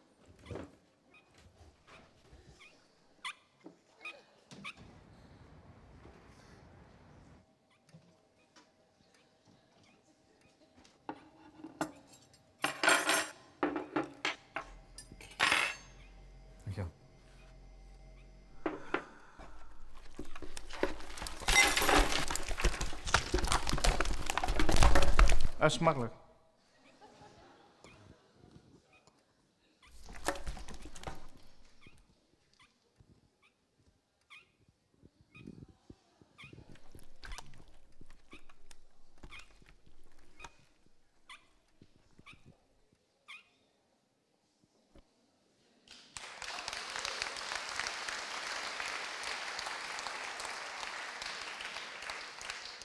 Ja, maar Casper, waarom hebben jullie dit gemaakt? Uh, ja, omdat wij, uh, we hebben alle twee een uh, duurzame studie uh, achter de rug, Future Planet Studies. En ehm, dus we zijn veel bezig met voedselketens en met duurzame ontwikkeling op allerlei trajecten. Nu een filmbedrijfje. En wij ontdekten de schokkende feiten over bijvangst, wereldwijd specifiek over garnalen. En ehm, wij dachten van ja, wij weten hier al niks van. Mensen om ons heen wisten er eigenlijk ook heel weinig van. Hoe kunnen we dit visualiseren op een manier dat uh, je als gewone kijker die zich niet speciaal bezighoudt met duurzaamheid of duurzame consumptie, denkt van hé, hey, uh, wat is dit en wat is eigenlijk de, de omvang van dit probleem? Ja. En um, er, zijn er zijn meer filmpjes, ook hele goede filmpjes hierover, maar die gaan allemaal... Daar zie je Ik vond dit ook een heel goed filmpje. Nou, dank je. Maar daar zie je allemaal de, de schepen en de netten en de, en de zeeën. En we dachten, ja, eigenlijk um, veel mensen weten daar toch niet zoveel van af. Maar... Ik moet voor de zekerheid vragen, hè, want we merken vandaag dat je ook vecht tegen beelden. Ook als visser. Hebben jullie dit precies uitgezocht? Klopt dat de inhoud van het emmertje, klopt dat ook echt met wat er anders bij zo'n garnaal mee wordt gevist? Uh, absoluut niet. Okay. Um, het idee van het filmpje is niet om een feitelijke weergave te geven, maar om een, uh, een illustratie van de werkelijkheid te geven. De schildpad die je ziet is een landschildpad, dus die je sowieso niet zo heel snel treffen in een net. En uh, de vissen die daar ook over tafel vloeien, dat zijn vissen die uh, van restafval van de markt overgebleven. Dus vandaar ook dat dat niet een echte samenstelling is. Want Nathalie, jij eh, gaf in je inleiding gaf je al aan, eh, die overbevissing dat, of, of bijvangst, dat, dat wordt minder. Ehm, maar ze zeggen wel, ja, we, moeten dit wel elke keer bij mensen bewust maken, dat dit wel meespeelt. Als je vis bestelt, dat, dit, dit komt mee op je bord bij wijze van spreken. Ja, heel veel mensen die weten dat inderdaad. Dat is een heel terecht punt wat je maakt. Heel veel mensen weten dat eh, eh, niet. En het is inderdaad zo dat vooral in die visserijen die op de bodem plaatsvinden, bij soorten waar, eh, die door elkaar heen zwemmen, dat je daar behoorlijk eh, afhankelijk van je vistuig behoorlijke bijvangsten kan, kan hebben. Dus die bewustwording, is er wel go- goed, is een goede actie, zoiets? Ja, het is wel op zich een goede actie om dat duidelijk te maken. Maar wat je weer ziet hier, en dat, is, dat geeft hij ook toe, maar daar is hij ook eerlijk in. Het gaat wel om beelden. En waar de visstijd toch wel, en wat je ook aangaf, toch wel last van heeft al jarenlang. Is dat eh, wat er, er zijn ongelooflijk positieve ontwikkelingen. En steeds, steeds dit soort beelden maar weer uitstorten. Dat is niet echt wat je noemt eh, bemoedigend voor een visserijsector die eh, echt werkelijk aan het verduurzamen is. En dat vind ik een beetje lastig aan dit, ook dit filmpje, moet ik zeggen. Nico? Ja, dat, dat valt me dan ook op. Kijk, dat je een, een statement wil maken dat er een problematiek is. Maar die problematiek ligt er niet bij de visser, die komt vanuit de EEG.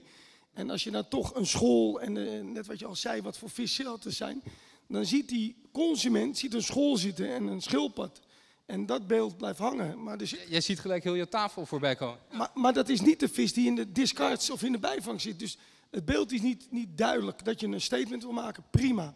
Maar het moet niet de visserman eh, of de visserman eh, en de vrouw eh, negatief beïnvloeden. Zo.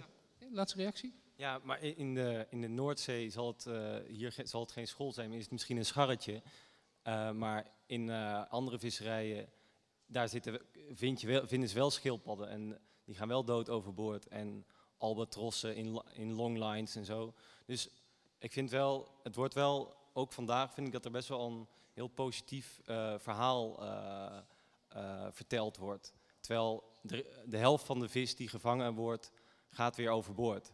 Dood, als bijvangst. Dat, zijn, dat, dat, dat, dat is wat onderzoek uitwijst. En wat wil ik nou nog meer zeggen? Dit is op zich een terecht punt. Als je zit, ik, zie, ik zie Hendrik zie je knikken. Wat ik interessant vind, bij de helft van de vis overboord. Jij, knikte. Ja, ik herken dit eh, heel erg. Dit eh, filmpje ook. Dat er eh, toch een beeld wordt neergezet. Wat niet de werkelijkheid weergeeft. Maar ergens hebben we die krab gezien bijvoorbeeld. Die, is, die heeft vrijdag nog rondgelopen. Dus zet ik die straks weer in een muiden op het zand.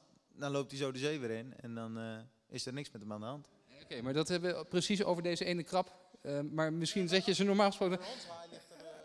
Ja? Doornhaatje, wat is het eh, Nico? Ja, in ieder geval, ja, hondshaatje. Die kun je niet vasthouden, zo levendig zijn ze. Nou, eh, zet jij die gewoon terug, dan zwemt hij gewoon weer naar beneden en dan is het gewoon oké hoor. En eh, met, met tong precies zo, met, met, het, eh, met het tuig wat hier ligt, vangen wij tongen, die kun je niet vasthouden. Zo graag willen ze weer terug de zee in. Kijk, we moeten toch eten. Ze wilden er überhaupt niet uit, maar dat is een heel ander punt. Bas Eickhout, kom eens even hierbij. Want dat moeten we even, want als dit inderdaad waar is, kijk, want dit, dit is natuurlijk wel logisch. Vanuit de visserij zeggen ze ja, dit valt wel mee. En dat kan anders aan de andere kant gezegd, nee, nu is het te vriendelijk. Als Europese Unie, als Europees Parlement heb je er hier nu op ingegrepen. En gezegd, die bijvangst, daar moeten we echt maatregelen treffen. Meenemen, aanlanden, want we willen het zien wat je meeneemt. Eh, ja, helaas is het uiteindelijke akkoord iets meer gatenkaas, zoals ik al zei. Maar het, het idee dat die bijvangst is wel degelijk echt een probleem. Het- idee doen alsof dat geen probleem is, dat is absoluut zo. Het probleem is alleen echter dat als je vervolgens een aanlandplicht hebt en je moet alles dus meenemen, dreig je ook alweer voor die wat, dat zijn vaak kleinere visjes en delen die heel erg in die bijvangst zitten, dan dreig je weer een nieuwe markt te creëren voor die kleinere visjes. Dus dat moet je dan ook weer verbieden. En dat zorgt ervoor dat de regelgeving er wel complexer op wordt.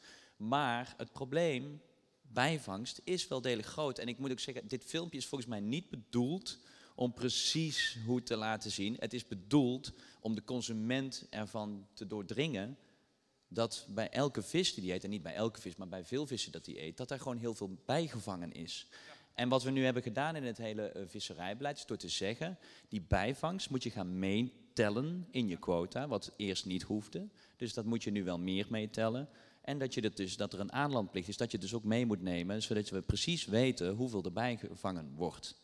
Dat is, Dat heeft nogal impact. Want in praktijk kan het best zo zijn dat je dus eh, je, je vangt. Je denkt, als ik dit nou kwijt ben, dan kan ik namelijk die ruimte wel weer invullen met vis waar ik gewoon meer voor krijg. Dus het kan nog wel impact hebben uiteindelijk op hoe die visserij nu gaat functioneren de komende tijd. Dat kan. En dat is ook op dit moment, eh, wordt er dus ook, wat ik weet van een aantal vissers, die houden ook nu op dit moment nog aan van wat moeten we nu precies met die bijvangst. En dat geef ik ook toe, dat is op dit moment nog wel een probleem. Wat doe je dan precies met die bijvangst? Dat kan allemaal naar vismeel verwerkt moeten worden. Maar daar hebben we het nu op dit moment nog niet over. Maar het idee dat je dat gaat aanpakken. Overigens zit een infasering naar 2015 toe. Dus het is ook weer niet zo dat het van de een op de andere dag. Voor een hele hoop soorten geldt het nog niet. Dus wat ik zeg, het is niet het idee dat gedaan wordt. De EU gaat nu ineens weer de alle bijvangst. Ik zou eerder zeggen, doordat het zo'n relatief vaag compromis is geworden, zorgt ervoor dat je weer veel meer onhelderheid hebt gecreëerd. Dus in die zin, allerlei klachten komen ook soms omdat het een compromis is. Ik had misschien liever gehad dat het echt gewoon een bijvangst is. Helemaal meenemen, aanlandverplichting. Dan weet je in ieder geval wat, dat de wet helder is. En dat is op dit moment niet het geval. Even checken, ja? Barbara? Ja, leuk dat ik nu weet, ja. Ja, ik zit er een beetje mee, want consumenten die willen ook gewoon alleen maar bepaalde vissen eten. En van, van ons wordt ook door biologen gevraagd van, goh, je moet meer gelijkmatig uit de hele kolom, eh, uit de hele eh, piramide, zeg maar, vissen. Nou, dat kan. Maar als iemand dan bijvoorbeeld, ja, in dit geval garnalen bestelt, en je bestelt de bijvangst erbij, dan is dat dus een kommetje lekkere soep van strandkrab, eh, wat van die mini-peilingvisjes op het zuur, uh, wat, wat hebben we nog meer? Anchovies, uh, gebakken spierenkies erbij. Dat krijg je er allemaal bij. Ja. Maar ik bedoel, snap je dan? Ik, ik had echt het filmpje prachtig gevonden. Als die man ziet van, hé, hey, nou heb ik een bordje met die, met, met, met die garnaaltjes wat ik besteld heb. En daarnaast een kom soep. En uh, weet je wel, dat is, het is namelijk heel veel daarvan is hartstikke lekker. Ja. Alleen nog Precies, het is, ze willen het gewoon niet. Het zijn bij wijze van spreken de vissen waarvan Nico eerder zei van ondergewaardeerde visjes. Of vissen, ja. Maar dat is, ik, ik, kom er, ik kom naar je toe. Ja, toch even dit checken, want dit is natuurlijk een, een consumentprobleem. Een consument wil nu bij wijze van spreken panga. Dus uh, dan kan je met allerlei andere dingen aankomen. Allerlei wet en regelgeving bedenken, maar ze willen het niet. Ja, maar goed, volgens mij is het wel degelijk belangrijk. Als je nu gaat kijken naar het effect van die bijvangst, die is wel degelijk groot. Dus je moet daar iets doen vanuit het beleid. En het idee dan dat de consument het niet wil, ja, dat is volgens mij een volgende stap. Je kunt nu, nu niet zeggen dat we daar niet iets aan moeten doen. Maar dan zit je als visser, zit je dan met al die vis? Wat dus minder oplevert. Het is al niet per definitie vetpot, hebben we gehoord. En dan krijg je dus vervolgens, moet je dus vis meenemen die aan de straat zijn die kwijtraakt. Ja, maar wat je daarmee ook stimuleert, is dat er steeds vaker de vangst is die die bijvangst gaat verminderen. Dat is ook wat er gaat gebeuren. En als je het dan gaat hebben over een, een, fonds, wat er ook weer is vanuit de EU, dan moet dat ingezet worden om naar die alternatieven te gaan, zodat die bijvangst weer minder wordt. Dus er wordt heus niet alleen maar één, ergens simpel een bijvangst verboden, er zit ook ander beleid. Ja, even, daarachter. Kom daar en dan daar. Ja. Nou, je zit ook met meerdere problemen natuurlijk. Ik ben zelf visser dan en ik vis met dat tijger wat daarvoor ligt. Ik ben uh, zelf pulsvisser. En uh, met de traditionele, boom, traditionele boomkor, met de ketting, heb ik ook gevist. En je zag dat daar, had je relatief veel bijvangst, uh, bodemvuil. We hebben dat met het tuig proberen al drastisch te verminderen. Daar zijn we best goed in geslaagd, vind ik zelf. Wat wij proberen is om, om de bijvangst te hebben, vooral over de ondermaatse vis. Alle maatse vis en handelbare vis gaat gewoon mee naar land bij ons. Maar alle ondermaatse vis, die proberen wij zo snel en zo levend mogelijk overboord te zetten. Dat is ons doel. Kijk, dat daar een bepaald percentage van niet overleeft, dat is logisch. Maar door te zeggen van we nemen alle bijvangst mee, gaat ook dat percentage wat dus nog leeft eigenlijk, dat moeten we dus ook meenemen. Dus dat heeft ook geen kans. Dus je, je haalt ook een hele, hele hap uit het ecosysteem eigenlijk, wat meegenomen wordt. En dat komt nog bij dat de bijvangst die voorheen overboord ging, dat was toch, dat was weer voedsel voor de vogels die achter ons schip komen. Dat was, als die bijvangst komt op de bodem, het is voedsel voor de krabben. Die krab, dat is eigenlijk de opruimer van de zee. Die, die eet die bijvangst, die, die, die, die dode bijvangst die wij gegeten hebben. Die bijvangst die, wij, die dood overboord gaat, dat breekt ook weer af. Het wordt nieuw, het wordt nieuw eten. Zo is het ecosysteem rond. Stop, ja, stop, stop, stop. Bas, je maakt het eigenlijk alleen nog maar erger. Het is een totale omkering dit. Dit had ik ook niet zien aankomen. Ja, maar ik ben het er ook niet mee eens. Alsof zeg maar, die krab ineens het moet overleven van de bijvangst. Dat is natuurlijk ook onzin. Dat, lag op, dat was al in de zee. Dus... Nee, maar er wordt ook gezegd, een deel van die bijvangst die gaat gewoon levend terug. Neem je het mee naar de kant, dan is het per definitie dood. Maar ook een heel groot deel niet. Ja. En dat is wel degelijk het aspect waar ik wil naar gaan kijken. En als jij ervoor zorgt dat de bijvangst wel een aanlandplicht krijgt, dan krijgt de visser een steeds meer een impuls om die bijvangst zo laag mogelijk te maken. En dat er daarom dus technieken, en bijvoorbeeld we hebben ook in het Europees parlement die hele discussie gehad over of deze techniek nou wel of niet subsidie moest krijgen.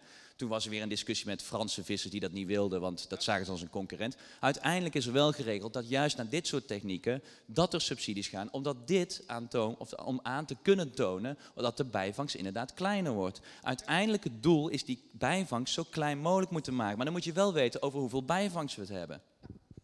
Ja, ik kom even u. Ja. Eigenlijk ging mijn vraag eigenlijk heel erg over waar jij het ook al over had. Want volgens, volgens mij wordt met ondermate vis ook jonge vis bedoeld. En als je die dus teruggooit, kan die verder leven en eh, groeien. En als je ze dus weghaalt, dan kan dat dus niet meer verder leven. Is het gewoon dood. Dat is volgens mij ook een probleem van die vissers. Hoe, hoe weet u dit? U ziet helemaal niet uit als een visser. Nee, ik heb toevallig met een visser gesproken. Ja. Dat kan ook, ja, heel goed.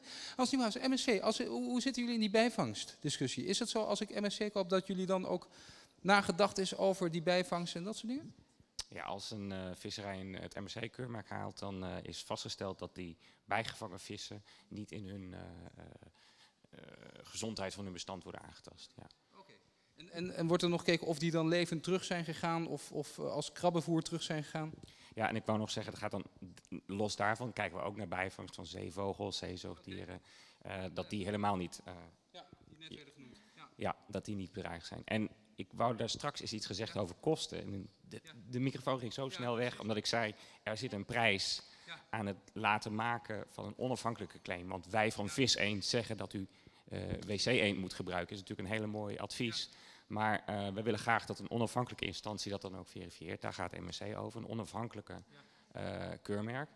Eh, die kosten, ik heb daar net in de, in de trein hierheen nog even een berekening van gedaan wat dat eigenlijk een, een visserij kost. En dat maakt natuurlijk nogal uit of je een kleine visserij hebt zoals Miranda of een grote zoals Gerard. En ik heb dat op de achterkant van een, van een bierveeltje in de trein gedaan. En dat komt op 0,01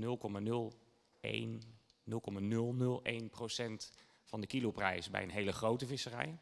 En misschien 1 à 2 procent van de kiloprijs bij, de, bij een aantal kleinere visserijen. Om je een orde groot idee te geven van de kosten die je maakt als visserij om gecertificeerd te worden. Daar zijn natuurlijk ook heel veel baten tegenover. Los van de baten voor de zee eh, zijn er ook de baten die de visserman kan krijgen. We hebben aan het begin eh, Jan de Boer eh, horen vertellen als Ecofish groep dat hij ook eh, gecertificeerd is geraakt. Dat heeft voor hem ook nieuwe markten geopend. Dus er, zit, er staan ook baten tegenover. Speciaal fonds, wat Bart van Olven zegt, een speciale regeling voor de kleine visser? Ja, die is er ook al. Alleen, hartstikke goed, mooi.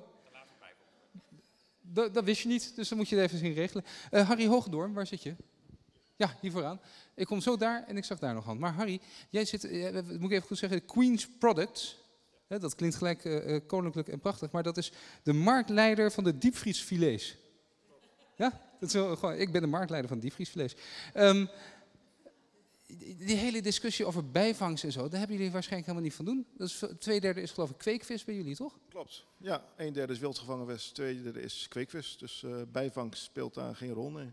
Dus we moeten gewoon allemaal kweekvis gaan eten. Eh, we moeten het eh, gezond afwisselen met elkaar. Dus zowel wildgevangen vis als kweekvis, dat, dat moet je met elkaar afwisselen. Waarom moet ik dat afwisselen? Want als ik alleen kweekvis zou eten, zou het niet goed met me gaan? Zou het ook goed elkaar gaan, maar ik denk dat het eh, andere soorten vis zijn. En eh, er zijn ook mensen die eten af en toe een appel en af en toe een sinaasappel en een keer een kiwi. Eh, ook fruit gezond afwisselen. Zo moet je met vis ook doen. Dus, Je hebt niet genoeg diversiteit in de kweekvis. De diversiteit in de kweekvis is aanzienlijk minder dan in de wildgevangen vis, absoluut. Hoe groot zou uw tafeltje zijn geweest? Wij hebben in principe maar twee kweekvissoorten. Dat is heel overzichtelijk. Ja, dat zijn, ja. En, en, en welke zijn dat dan? Dat is de pangasius en de tilapia. Duidelijk. Ehm, eh, Nico, even, gewoon even een, een, een, eh, een recensie. De kweekvis. De kweekvis, ja. Kijk, ik heb verleden keer heb ik, eh, ehm, eh, voor Unilever moest ik ook een presentatie geven. En toen heb ik die vraag weer teruggesteld. En toen zei ik, nou, welke vis eten jullie het liefst? Ja, en dan, als je naar, naar mij kijkt, dan zeg ik van, ik ga eerst voor de duurzaam gevangen vis in onze achtertuin de Noordzee. Want we hebben een unieke visserij. En dan een tweede keuze heb je eh, de kweekvis. En dan kan je ook een keuze in maken. En de consument die hier allemaal bij zitten, die maken de keuze. Die kunnen kiezen tussen regulier gekweekte vis of je kiest voor biovis. Als ik voor mijn kinderen kijk en ik heb er vier, dan wil ik het beste en het lekkerste. En dan pak ik eerst de Noordzeevis uit de achtertuin gevist, door de goede visserman. En dan pak ik de biologisch gekweekte vis. Ja, ja. Misschien mag ik nog even terugkomen, want ehm, Panga is in, in principe... Ja, dat- nou, wij, wij doen ook school van de Ecovisgroep. Toen die MSC gecertificeerd zijn, zijn wij met school eh, begonnen.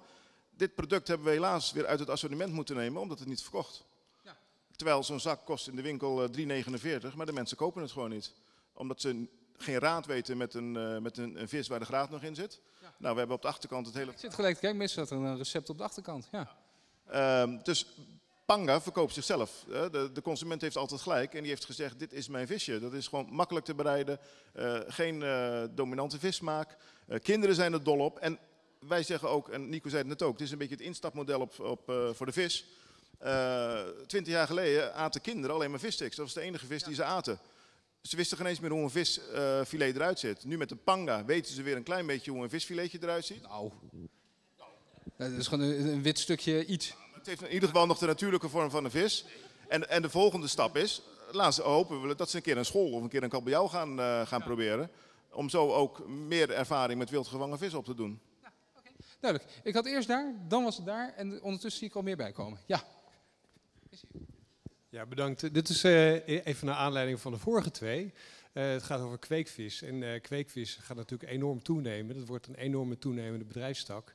En je ziet juist in de kweekvis zitten heel veel verschillende. Maar bijvoorbeeld eh, kweekvis die vis eet, zoals zalm. Daar heb je voor elke kilo zalm heb je een paar kilo eh, wilde vis nodig. Het is niet zo bij de tilapia en pangasius, want die eten geen vis. Maar dus eh, de kweekvis is een enorm belangrijke bedrijfstak waar ook heel veel verschillen in zit en enorme misstanden in zitten. Dus ik denk dat het dat ook belangrijk is om daar heel veel aandacht aan te besteden. Niet, niet alleen aan de wilde visserij. De kweekvis, dat zal in de komende jaren alleen maar meer toenemen? Ja, dat gaat enorm toenemen. En je ziet bijvoorbeeld... eh, Waarom weet u dit? eh, eh, nou, ik ben een collega van eh, Christine Absel. Ik ben ook van Stichting de Noordzee. Dus zij vertelt me, fluistert me wel eens wat in. maar ja, dat is een enorm belangrijke bedrijfstak. En waar, waar niet altijd evenveel controle op is. Duidelijk. Ik kijk even op mijn loge, we komen in de laatste acht minuten terecht. Ik zag hier een hand omhoog, was in de hoek ergens. Ja, maar dan mag jij eerst, dan kom ik daar, dan daar. Nou, ik denk wel dat het belangrijk is dat als ik dit debat zo kijk, van hoe dit tot nu toe verliep, dan eh, is er heel veel aandacht naar eh, de visserij in de Noordzee. En de verhalen van de vissers vind ik heel erg interessant en gaaf om te horen. Maar wij als consument consumeren blijkbaar grotendeels exoten. En er is gewoon echt heel erg veel fout. Eh, er gaat Dat is toch een moraal van het verhaal van vanmiddag. Eigenlijk gewoon, we hadden bij Nico ongeveer kunnen stoppen. Stop eten van exoten. Begin gewoon eerst eens in de achtertuin. Nou, dat durf ik niet te zeggen. Waarom niet? Ehm, omdat ik er zoveel niet van af weet. Ehm, maar ik denk wel, belangrijk is van als je nou vandaag wegloopt en denkt, oh, ik kan weer lekker vis eten. Kijk dan in ieder geval zelf even als consument eh, online. eh, doe even je eigen onderzoek. Want er is ook echt een tegengeluid dat hier nog niet echt heel veel gehoord is. En dat is dat het echt heel erg fout gaat. Ik ga het als volgt oplossen. Wie zegt, ik heb het hardste tegengeluid? Kijk, heel goed. Kom maar door. Ik ben eh Huip Stam. Ik heb een boek over de haring geschreven, maar daar gaat mijn vraag niet over. Ik wil weten van de eh, dames en heren, of dame en heer daarvoor aan, hoeveel van de vis, van het viswater over de wereld gecontroleerd is. Hoeveel procent? Dus zoals de Noordzee gecontroleerd is. Dus ik kan weer op de controlevraag weten wat er gebeurt. Ja, en, en, en de vraag die daar, want hoef je maar één keer die kant op te lopen. Eh, de, de pelagische vriestrollers van meneer Van Balsvoort, eh, vissen die alleen in de Noordzee of vissen die ook voor Mauritanië voornamelijk? Vissen die eh, voor Chili, waar ze het grootste visbestand wat er ter wereld daar bevissen? En is alles wat die vissers eh, opvissen met die grote netten, is dat allemaal wel gecontroleerd? Zoals meneer beweert. Nee, duidelijk, ja. Nathalie, eerst even de vraag, hè, de controle. We hadden het eigenlijk iets eerder, kwam het al even voorbij, maar de, de controle buiten de Noordzee, heb je daar zicht op? Nee, nee.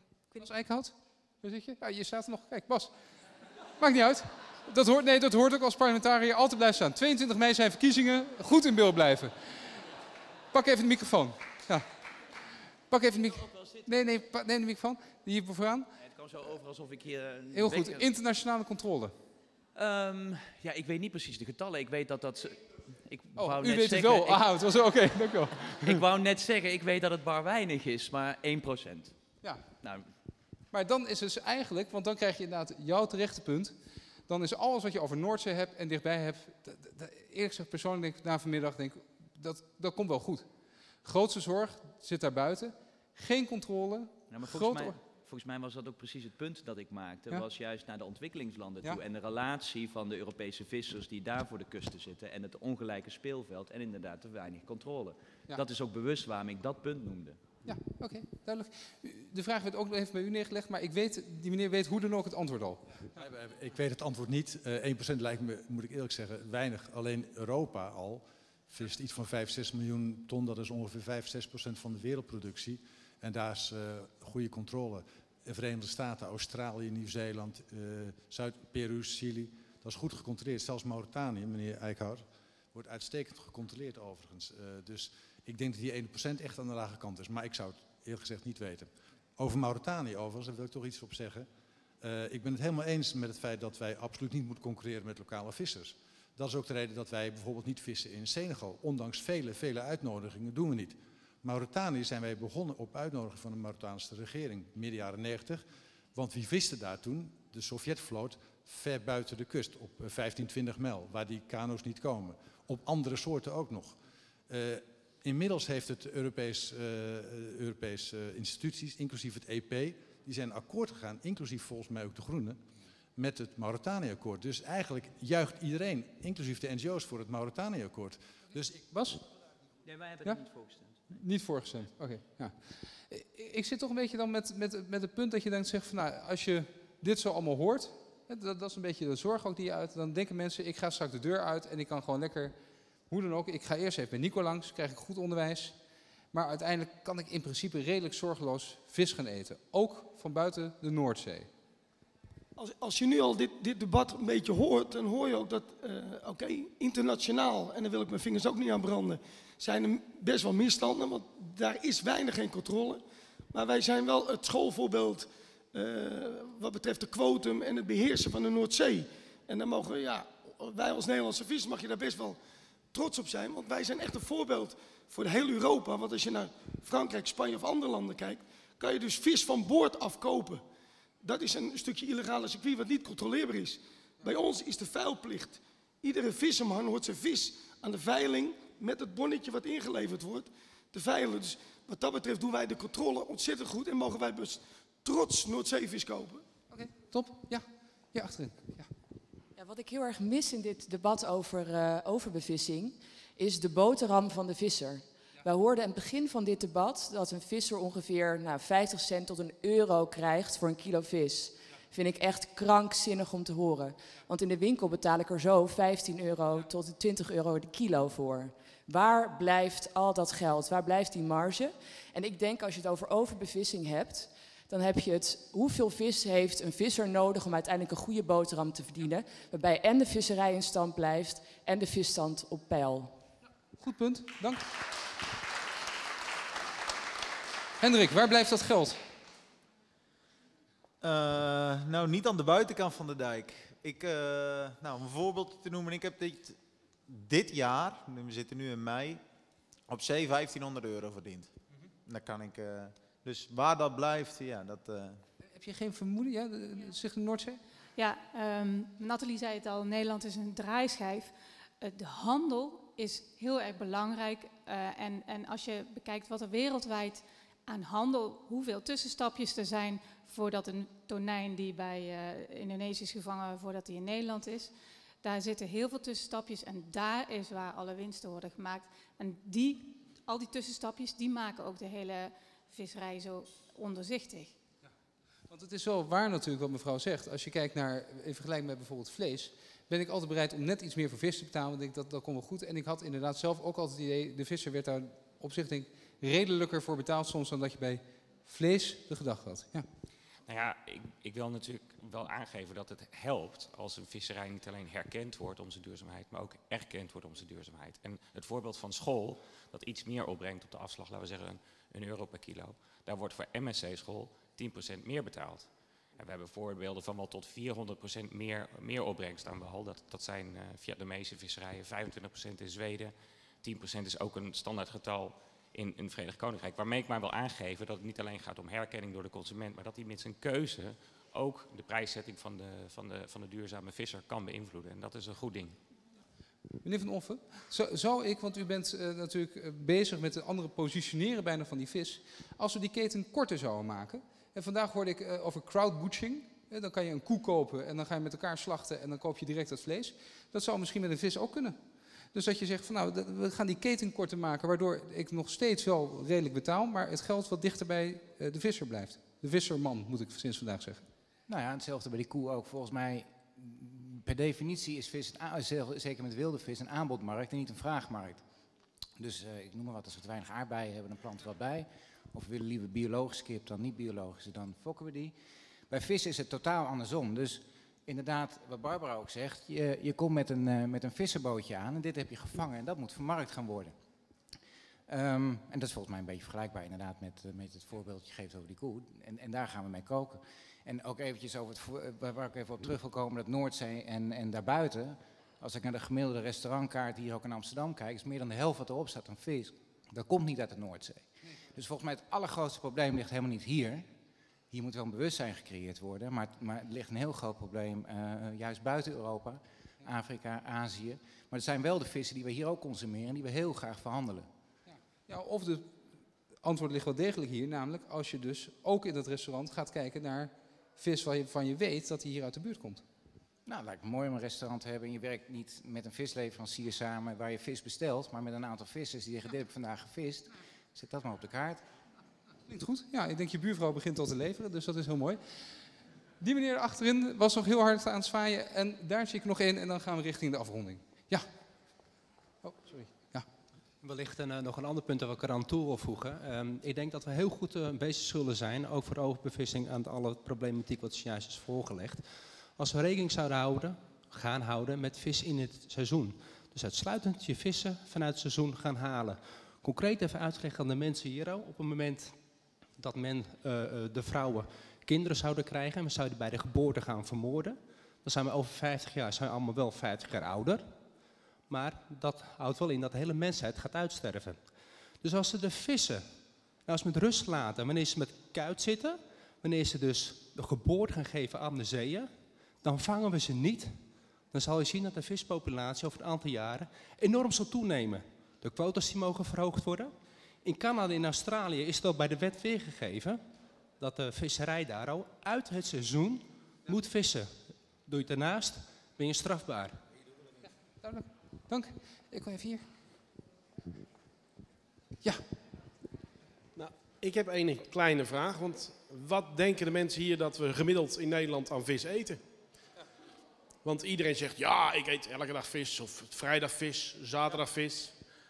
2,3 kilo aan filet per persoon in Nederland.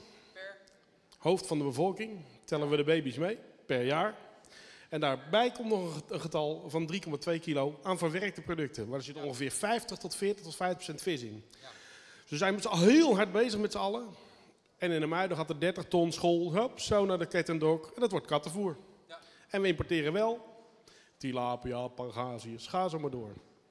Eigen vis, eerst eten en vis eten misschien. Überhaupt vis eten, kijk. Maar ja, eigen vis eerst, dat is mooi. Ehm, ja, dat is wel mooi. Dan dacht je altijd, dan blijft Bas eigenlijk echt staan tot het eind en dan gaat hij net zitten. Bas, komt nog één dingetje wil ik namelijk aan jou vragen. Wij zoeken natuurlijk tijdens deze debatten altijd naar waar de, de, eigenlijk de directe cirkel van, van invloed die je kan hebben. Dus je komt bij de consument, je komt bij de lokale vissers in dit geval, bij, bij, bij certificaatorganisaties, dat soort. Maar je merkt ook in dit, meer dan bij vlees, waar we het eerder over hebben gehad, gaat dit over een internationale markt. De afstanden zijn veel groter. Er is veel meer te organiseren. Ik kom nog één keer terug met die vraag dan ook bij jou. Is er iets wat wij zouden kunnen doen om te zorgen dat juist op, internationaal niveau die visserijmarkt eigenlijk gaat verbeteren? Dat de discussies over bijvangst daar gaan plaatsvinden, dat illegaliteit wordt aangepakt. Ehm, is er iets wat je daaraan kan doen, gewoon als, als Nederlandse consument, politicus, visser? Nou, als consument vind ik een moeilijke vraag. Als politicus, kijk, het Europese debat wordt natuurlijk wel gevolgd, ook in de rest van de wereld. Dus het beleid wat Europa maakt, heeft wel degelijk ook gevolgen voor andere regio's. Ehm, dat, heeft, dat is nog niet op dat niveau als waar wij nu zitten, maar wij hebben ook, en dat is toch altijd weer dat dubbele, ja, wij zijn ergens, eigenlijk is Nederland erin een goed voorbeeld. Nederland loopt ergens voor in, qua controle en dergelijke. Ja, maar Nederland loopt ook wel weer voor in, in eigenlijk de handelsnatie die wij ook weer zijn rondom de hele vis. En waar we het ook net over hadden, die draaischijf die wij zijn. Dus Nederland heeft altijd een beetje een dubbel gezicht. Ja, we zijn enerzijds zijn wij beter altijd en netter in controle, maar die professionalisering maakt ons ook altijd wel weer een hele centrale plek in de hele handel. En die twee gezichten, die heeft Europa natuurlijk ook. Dus wij zijn wel met steeds vaker bezig met quota op wetenschap gebaseerd en dergelijke. Maar wij zijn ook wel een hele grote. Wij hebben, wij hebben gewoon grote gevolgen ook op andere regio's in de wereld met, met uh, dat wat wij doen. En daarmee beleid dat wij maken, heeft in die zin absoluut een, een voorbeeldfunctie voor andere regio's. Ik denk als consument en dat wordt nu ook wel beter dankzij het nieuwe visserijbeleid. Gaan we steeds meer met labeling werken, dus zodat je weet waar de vis vandaan komt. Dat hadden we ook nog graag aangegeven wanneer die gevist is, hoe oud die is, uit welk seizoen die komt. Al dat soort zaken, dat soort informatie, als je dat helderder maakt, hoop je ook dat dat gevolg heeft voor de consument. Duidelijk. Janno, als uh, allerlaatste, kom heel even naar voren, want je gaf de aftrap vanmiddag. Zijn we een beetje in de buurt gekomen van wat je voor ogen had met dit uh, gesprek? Uh, ja, dat zou ik zeggen. Maar er is nog wel heel veel meer. Heel veel meer. Ja. Dus ja, ik heb me er nu de afgelopen vier maanden uh, aan kunnen besteden. Hier hadden we maar twee uur. Uh, dat, dat programma zit boorden, vol. dus ja, ik denk dat, dat de conclusie inderdaad is dat, nou, inderdaad, ga vis eten. Ga dat doen en verdiep je daar ook echt in. want alleen op die manier denk ik dat je uiteindelijk, zeg maar, naar een naar een duurzame visserij gaat gaan. Want het zijn toch de vissers die de eerste linie zijn. Die zijn, er, die zijn op zee, die zien wat er gebeurt, na jaar na jaar na jaar. Daar ga je niks aan veranderen. En zolang wij niet dichter naar elkaar toe gaan, en dat betekent allereerst dat, dat consumenten zich moeten verdiepen in, in uh, ja, wat ze dan daadwerkelijk eten. Maar dat betekent ook dat vissers uh, moeten gaan consumeren.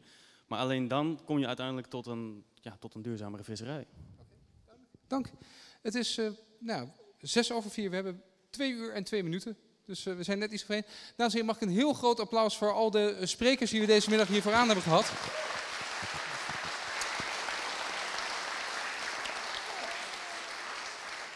Um, u kunt gewoon rustig hier wat blijven hangen. Nico, mag ik vragen aan jou om gewoon plaats te nemen achter de tafel? Voor de, voor de liefhebbers die nog wat willen weten, die kunnen dat bij jou vragen. Inclusief uh, het bereiden van het een en ander, hoe je dat doet. Ik wil aan de vissers aanwezig uh, ook vragen om hier te blijven rondhangen. Uh, en je kenbaar te maken zodat we daar ook nog even het gesprek mee kunnen voeren. Dat zou ontzettend fijn zijn. Dames en heren, mag ik u heel erg danken. Dank voor de sprekers. Ik wens u een hele fijne middag en veel plezier verder nog op het filmfestival.